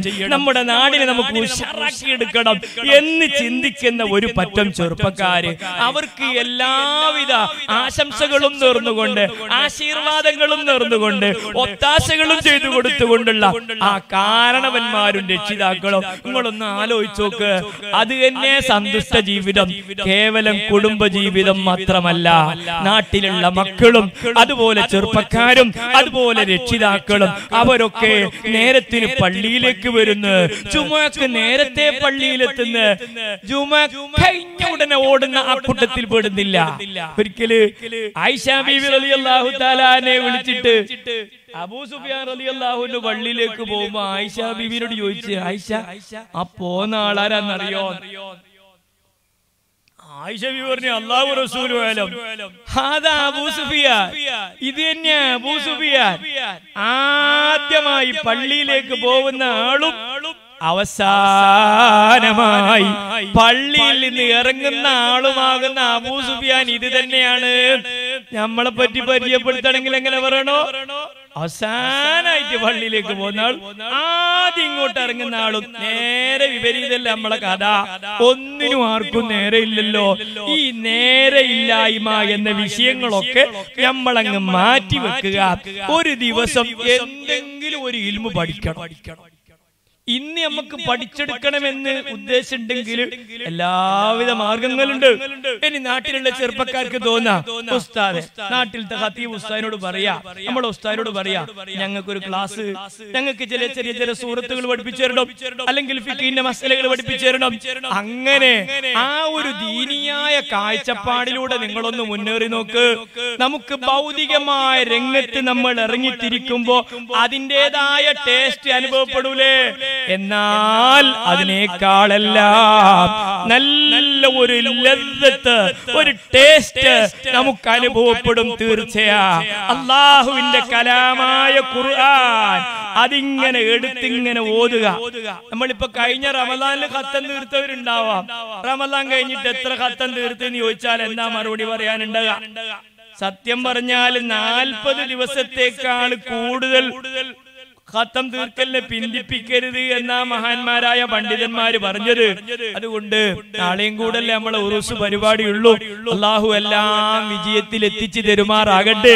എനിക്ക് പറയാനുള്ളത് ഈ ഉറൂസ് പരിപാടിയൊക്കെ കഴിഞ്ഞു പോകുമ്പോ നമ്മൾ വരവും ചെലവും ഒക്കെ നോക്കിയിട്ട് ഇക്കൊല്ലത്തെ ഉറൂസ് പോരാ നഷ്ടം എന്ന് പറഞ്ഞിട്ട് വിലയിരുത്തിയാ പോരാ. അല്ലെങ്കിൽ ഇത്ര ഉറുപ്പ്യ ലാഭമുണ്ട് ആ വിലയിരുത്തലും പോരാ. നമ്മൾ മൂന്ന് ദിവസത്തെ പരിപാടി വെച്ച് നല്ല ദുവാ മജിലിസൊക്കെ നടത്തി. അലഹമില്ല ഒരു ചേഞ്ചസ് നമുക്കൊക്കെ വന്നിട്ടുണ്ട്. അതോടൊപ്പം ആ ചേഞ്ചസിലൂടെ മഹലിൽ ഒരുപാട് മാറ്റങ്ങൾ ഉണ്ടാക്കിയെടുക്കണം എന്ന ചിന്തയിലേക്ക് നമ്മൾ എത്തിയിട്ട് നാട്ടിലുള്ള എല്ലാവരും ഒറ്റക്കെട്ടായി സുന്നത്തി ജമാഅത്തിന്റെ പാതയിൽ ഒരുമിച്ചുകൊണ്ട് ഇന്ന് ഭിന്നിക്കേണ്ട കാലല്ല ഭിന്നിച്ച് നിൽക്കേണ്ട കാലല്ല എന്താണ് കഥ? നമ്മളുടെ നിലനിൽപ്പ് എന്ന് ചോദ്യം ചെയ്യപ്പെടുന്ന ഈ രംഗം. നമ്മൾ ചിലപ്പോ ചെറിയ പ്രശ്നവും വന്ന് അങ്ങോട്ട് അങ്ങനെ ഇങ്ങോട്ട് അങ്ങനെ ആരും ആർക്കും വിട്ടുകൊടുക്കുന്ന വിഷയല്ല ഈ ഒരു പരിവത്തിൽ നമ്മളായാൽ പറ്റൂല.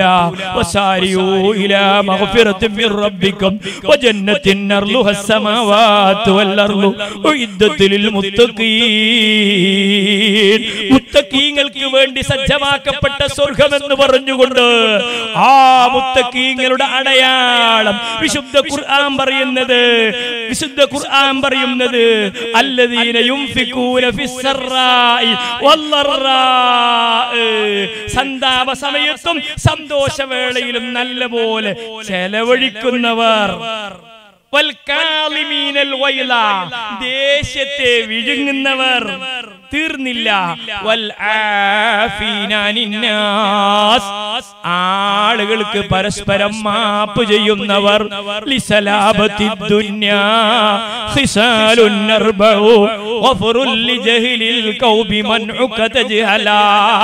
ദുനിയാവിൽ രക്ഷപ്പെടാൻ നാല് കാര്യങ്ങൾ അനിവാര്യമാണെന്ന് പറഞ്ഞുകൊണ്ടും മഅബരി റഹിമഹുല്ലാ പറഞ്ഞത് ലിജഹ്ലിൽ ഖൗമി തജ്ഹലാ. വിവരമില്ലാത്ത ആളുകൾ എന്തെങ്കിലും വിവരക്കേട് പ്രവർത്തിച്ചു പോയാൽ മാപ്പ് ചെയ്തു കൊടുക്കുക. മൂന്ന് വിഭാഗം ആളുകൾ. പരലോകത്ത് ചെറിയ പേരിന് മാത്രം ഇസാബെടുക്കും. അള്ളാഹു അവന്റെ അപാരമായ റഹമത്ത് കൊണ്ടോലെ സ്വർഗത്തിൽ കടത്തോം. മൂന്ന് കൂട്ടക്കാർ. ആരൊക്കെയാണ്?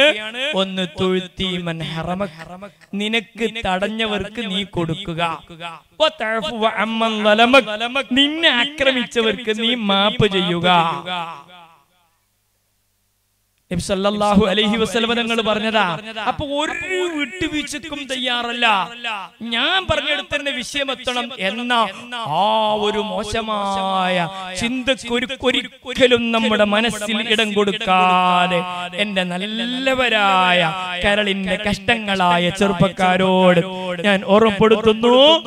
നമുക്ക് നമ്മുടെ മനസ്സിനെ ശുദ്ധീകരിച്ച് അള്ളാഹുവിലേക്ക് അടുക്കണമെന്ന ചിന്തയിലേക്ക് നമ്മൾ എത്തിപ്പെടുക. അർഹമുറാഹിമായ റബ്ബ് തആല നമുക്കെല്ലാം അതിന് തൗഫീക്ക് നൽകുമാറാവട്ടെ. ഇനിയും കൂടുതലായി സംസാരിക്കുകയല്ല. മഹാന്മാരായ ഔലിയാക്കളെ മധു പറഞ്ഞ സന്തുഷ്ട കുടുംബ ജീവിതം എങ്ങനെ നയിക്കണം എന്നതിലേക്ക് രണ്ട് മൂന്ന് സന്ദേശങ്ങൾ മാത്രമേ പറയാനായിട്ടുള്ളൂ. അവസാനമായി എന്നോടും നിങ്ങളോടും ഞാൻ പറയുന്നത് നമുക്ക് ആ ഒരു പവിത്രമായ മാസം നമ്മിലേക്ക് വരുന്നതിനു മുമ്പ് അതിനുള്ള എല്ലാവിധ എല്ലാവിധ തയ്യാറെടുപ്പുകളും നമ്മുടെ ഭാഗത്ത് ഉണ്ടാവുക. ഒന്നാമത്തെ തയ്യാറെടുപ്പ് തക്കുവ തന്നെയാണ്. അഞ്ചു നേരത്തെ നിസ്കാരം കൃത്യമായും നിത്യമായും ജീവിതത്തിൽ പകർത്തി നമ്മളെ നാവിനെ കഴിവിന്റെ പരമാവധി സൂക്ഷിച്ച് മുന്നോട്ട് കൊണ്ടുപോവുക. ആർക്കും ഒരു ഉപദ്രവമുള്ള വിഷയം നമ്മളെ ഭാഗത്ത് നിന്ന് ഉണ്ടാവരുത് എന്ന് മാത്രല്ല ഏതെങ്കിലും ഒരാൾക്കൊരു സന്തോഷം ഉണ്ടായി എന്നറിയുമ്പോ നമ്മളെ മനസ്സിലേക്ക് സന്തോഷം വരണം.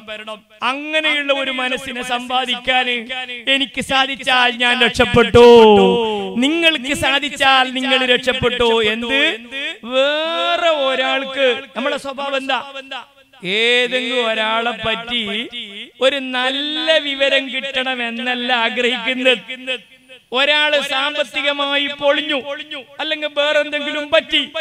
ഇത് അറിയുമ്പോ നമ്മളെ മനസ്സിൽ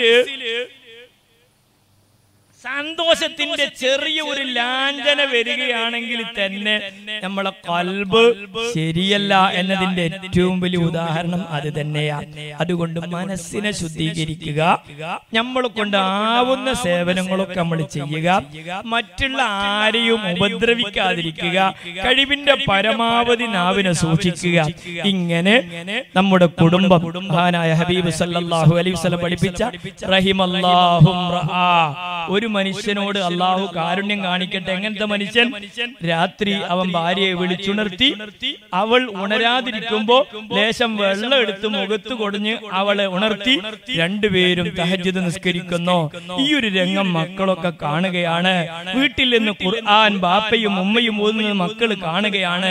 അങ്ങനെ ഒരു നല്ല ഒരു റാഹത്തുള്ള ഒരു അന്തരീക്ഷം പ്രത്യേകിച്ച് മദ്രസയൊക്കെ ലീവ് കൊടുത്ത ഈ ഒരു സമയത്ത് ലീവ് കൊടുക്കുന്ന ഈ സമയത്ത് നമ്മളെ മക്കളോട് നമ്മൾ നല്ല നിലയ്ക്ക് ഉപദേശിച്ചു കൊടുക്കണം.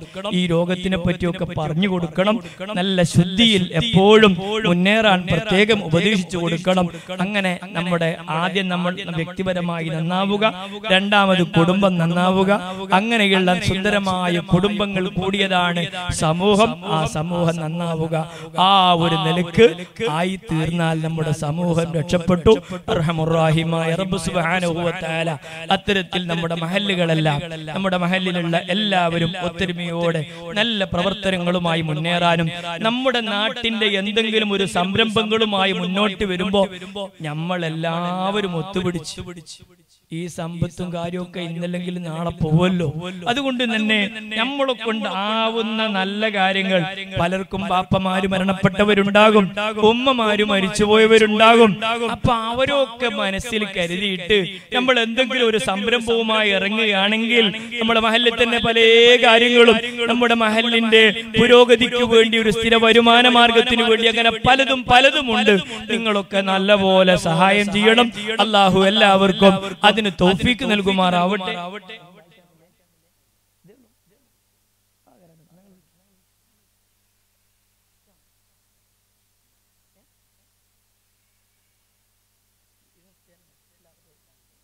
ഒന്ന് രണ്ട് സാധനങ്ങൾ മാത്രമേ ഉണ്ടാവും. പെട്ടെന്ന് ലേലം വിളിച്ചിട്ട് രണ്ട് കോഴിമുട്ടയുണ്ട്.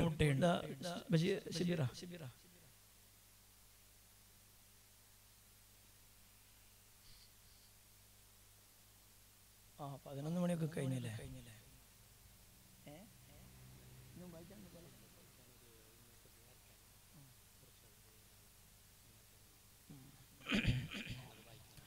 ഇൻഷാ അല്ലാ, നമുക്ക് ദുആ ചെയ്ത് പിരിയാം. ഏതായാലും അൽഹംദുലില്ലാ ഇത്രത്തോളം ക്ഷമിച്ചിരുന്നല്ലോ അഹുലുബൈത്തിൽപ്പെട്ട ഒരു മഹാന്റെ സാന്നിധ്യം കൊണ്ട് അനുഗ്രഹീതമായ അന്ത്യവിശ്രമം കൊണ്ട് അനുഗ്രഹീതമായ ഒരു നല്ലൊരു മജിലിസിൽ നിന്ന് നമ്മൾ വിളിച്ചെടുക്കുകയാണ്. ഇത് നെയ്യാണ്. അള്ളാഹു സുബ്ഹാനഹു അല ഇത് വിളിച്ചെടുക്കുന്നവരുടെ എല്ലാ നല്ല മുറാദുകളും ഹാസലാക്കി കൊടുക്കുമാറാവട്ടെ. അള്ളാഹുവേ ഇതിൽ നീ ഹൈറും ബർക്കത്തും ഏറ്റി ഏറ്റി കൊടുക്കണേ റഹ്മാനെ. നീ ശിഫ നൽകണേ റഹ്മാനെ. നല്ല ഒരു മജ്ലിസിൽ നിന്ന് വിളിക്കുകയാണ്. പെട്ടെന്ന് നിങ്ങൾ ഉദ്ഘാടനം ചെയ്യാം. ബിസ്മില്ലാഹി റഹ്മാൻ റഹീം. പറഞ്ഞോളൂ. പറഞ്ഞോളൂ. ആര് പറയുന്നില്ലേ? അഗ്രചങ്ങൾ തന്നെ പറയുന്നു. പറയുന്നു. ഇരുന്നൂറ് മുന്നൂറ്റി പതിമൂന്ന് റുപ്പിക സല്ലല്ലാഹു അലാ മുഹമ്മദ് സല്ലല്ലാഹു അലൈഹി വസല്ലം. കൂടുതൽ സാധനങ്ങളൊന്നുമില്ല ആകെ ഒന്ന് രണ്ട് സാധനങ്ങൾ മാത്രമേ ഉള്ളൂ. ഇത് നെയ്യാണ്. നല്ല ഒരു മജിലിസിൽ നിന്ന് വിളിച്ചെടുക്കുന്നതാണ് ഇതിന്റെ വേല എന്ന് നിങ്ങൾ കണക്കൂട്ടണ്ട. നല്ലൊരു മജിലിസിൽ നിന്ന് നമ്മൾ വിളിച്ചെടുത്ത് അത് നമ്മളെ മക്കൾ കഴിക്കുക വഴി രോഗം മാറ്റിത്തരാൻ കഴിവുള്ളവൻ അള്ളാഹുവാൻ അള്ളാഹു ശിഫ നൽകുമാറാവട്ടെ. അള്ളാഹുവേ നീ ശിഫ നൽകണേ. അല്ലാ മുന്നൂറ്റി പതിമൂന്ന് ഉറപ്പിക. ഒരു വട്ടം ഉറപ്പിക്കുകയാണ് എനിക്ക് കൂടുതൽ ഇത് പറഞ്ഞിട്ട് സമയം കളയുന്ന ശൈലി എനിക്ക് ഇല്ല ഒരു വട്ടം രണ്ട് വട്ടം മൂന്ന് വട്ടം. നോക്കറാജിന്യ അള്ളാഹു താല ഹൈറും ബർക്കത്തും ഏറ്റിയേറ്റി കൊടുക്കുമാറാവട്ടെ.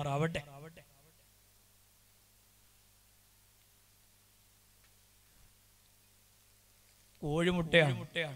പിന്നെ പക്ഷിപ്പനി വന്ന് വെച്ചിട്ട് കോഴിമുട്ടക്ക് പ്രശ്നമൊന്നും വന്നിട്ടില്ല. പിന്നെ രണ്ട് കോഴിമുട്ട. ഒരു ഉദ്ഘാടനം ചെയ്തോളി പറഞ്ഞോളൂ. പറഞ്ഞോളൂ പത്ത് റുപ്യ പത്ത് റുപ്യ വളരെ ആ നാടൻ കോഴിമുട്ട കേട്ടോ. പത്ത് റുപ്യ റുപ്യ വെറുതെ ഞാൻ കൊണ്ടുട്ടോ പത്ത് റുപ്യ റുപ്യ ഒരു സലാത്ത് എന്ന മാറ്റം വരും. സല്ലല്ലാഹു അലാ മുഹമ്മദ് സല്ലല്ലാഹു അലൈഹി വസല്ലം പത്ത് റുപ്യ ഒരു വട്ടം രണ്ട് വട്ടം മൂന്ന് വട്ടം. മൂന്ന് വട്ടം.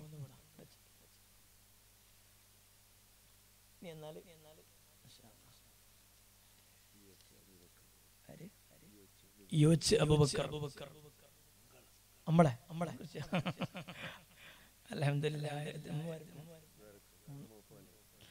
ഉമ്മാക്കും ഉപ്പാക്കും വേണ്ടി ദ്വാരക്കാൻ നമ്മളെ നമ്മളെ മംഗളപൂക്കർച്ച അങ്ങനെയാണ് ഉപ്പർ അറിയപ്പെടുന്നത് കൊണ്ട്. സ്വീകരിക്കണേ നീ നീ സ്വീകരിക്കണേ അദ്ദേഹത്തിന്റെ ഉപ്പാക്ക് വേണ്ടി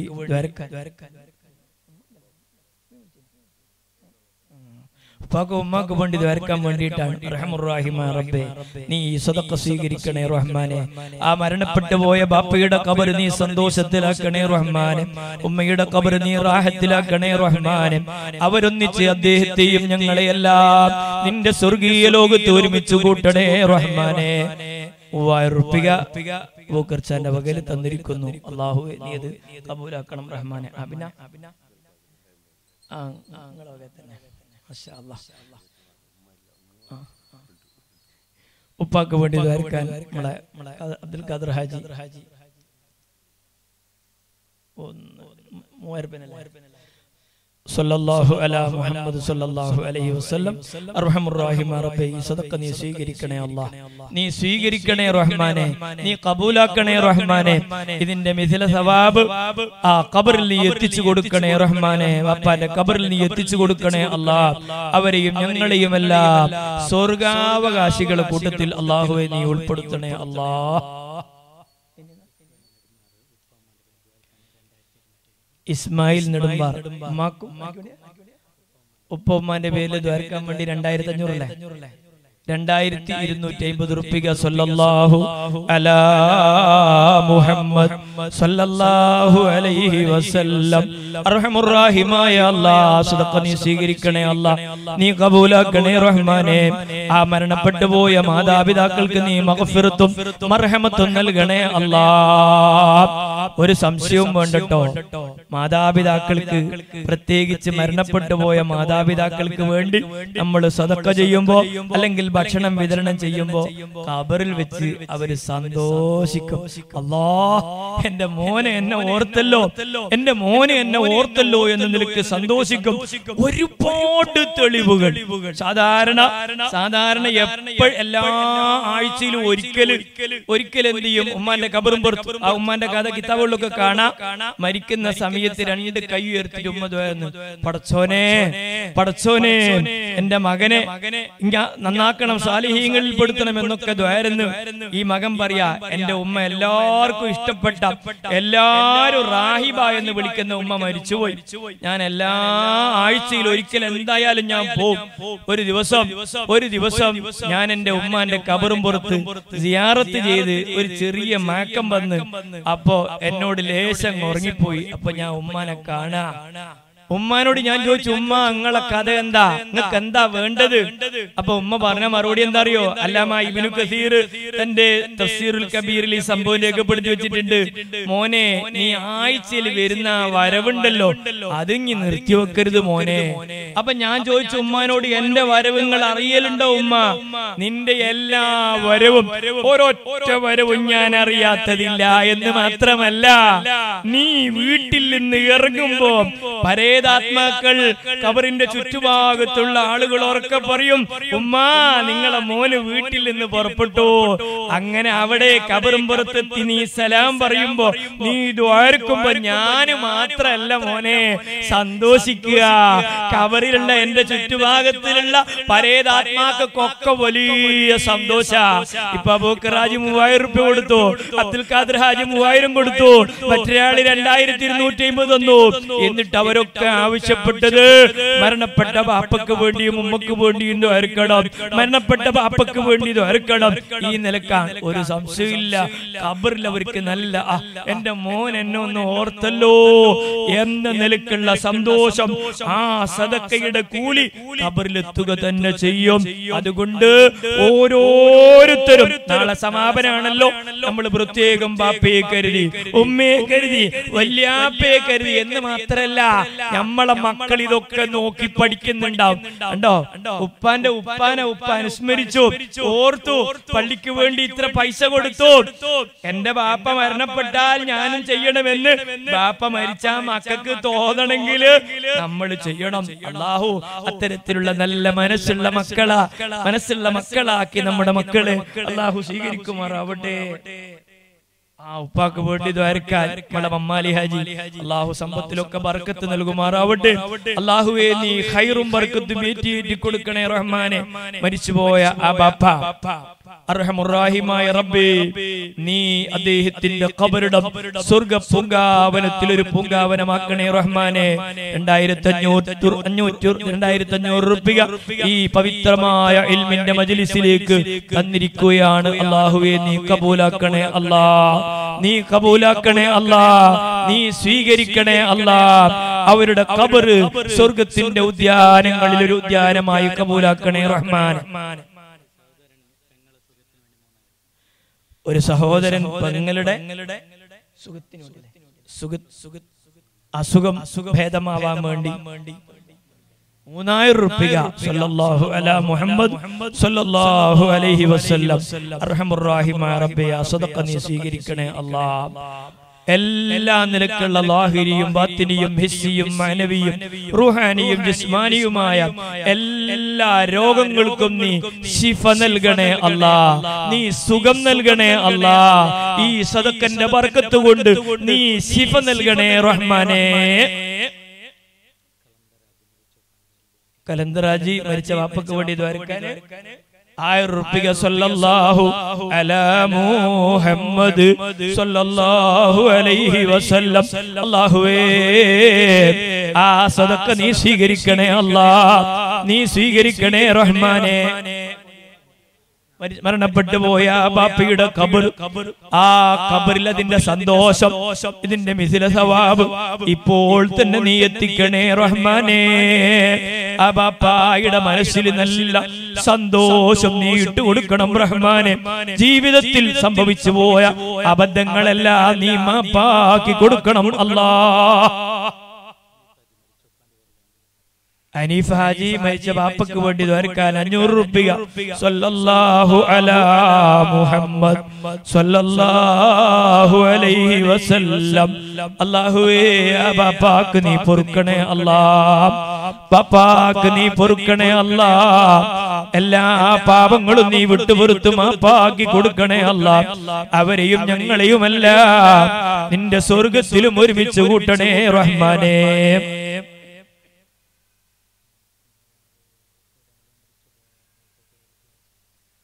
ഒരാൾ ഒരാൾ മരിച്ചുപോയവർക്ക് വേണ്ടി ദ്വാരക്കാൻ വേണ്ടി മൂന്നായിരം റുപ്യ സംഭാവന.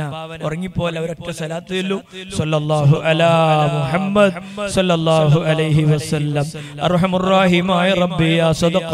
നീ സ്വീകരിക്കണേ അല്ലാഹ് നീ കബൂലാക്കണേ അല്ലാഹ് നീ കബൂലാക്കണേ അല്ലാഹ് മരണപ്പെട്ടവരുടെ കബറിൽ ഇതിന്റെ മിസില സവാബ് നീ എത്തിക്കണേ റഹ്മാനെ. ഇതിന്റെ മിസില സവാബ് നീ എത്തിക്കണേ റഹ്മാനെ.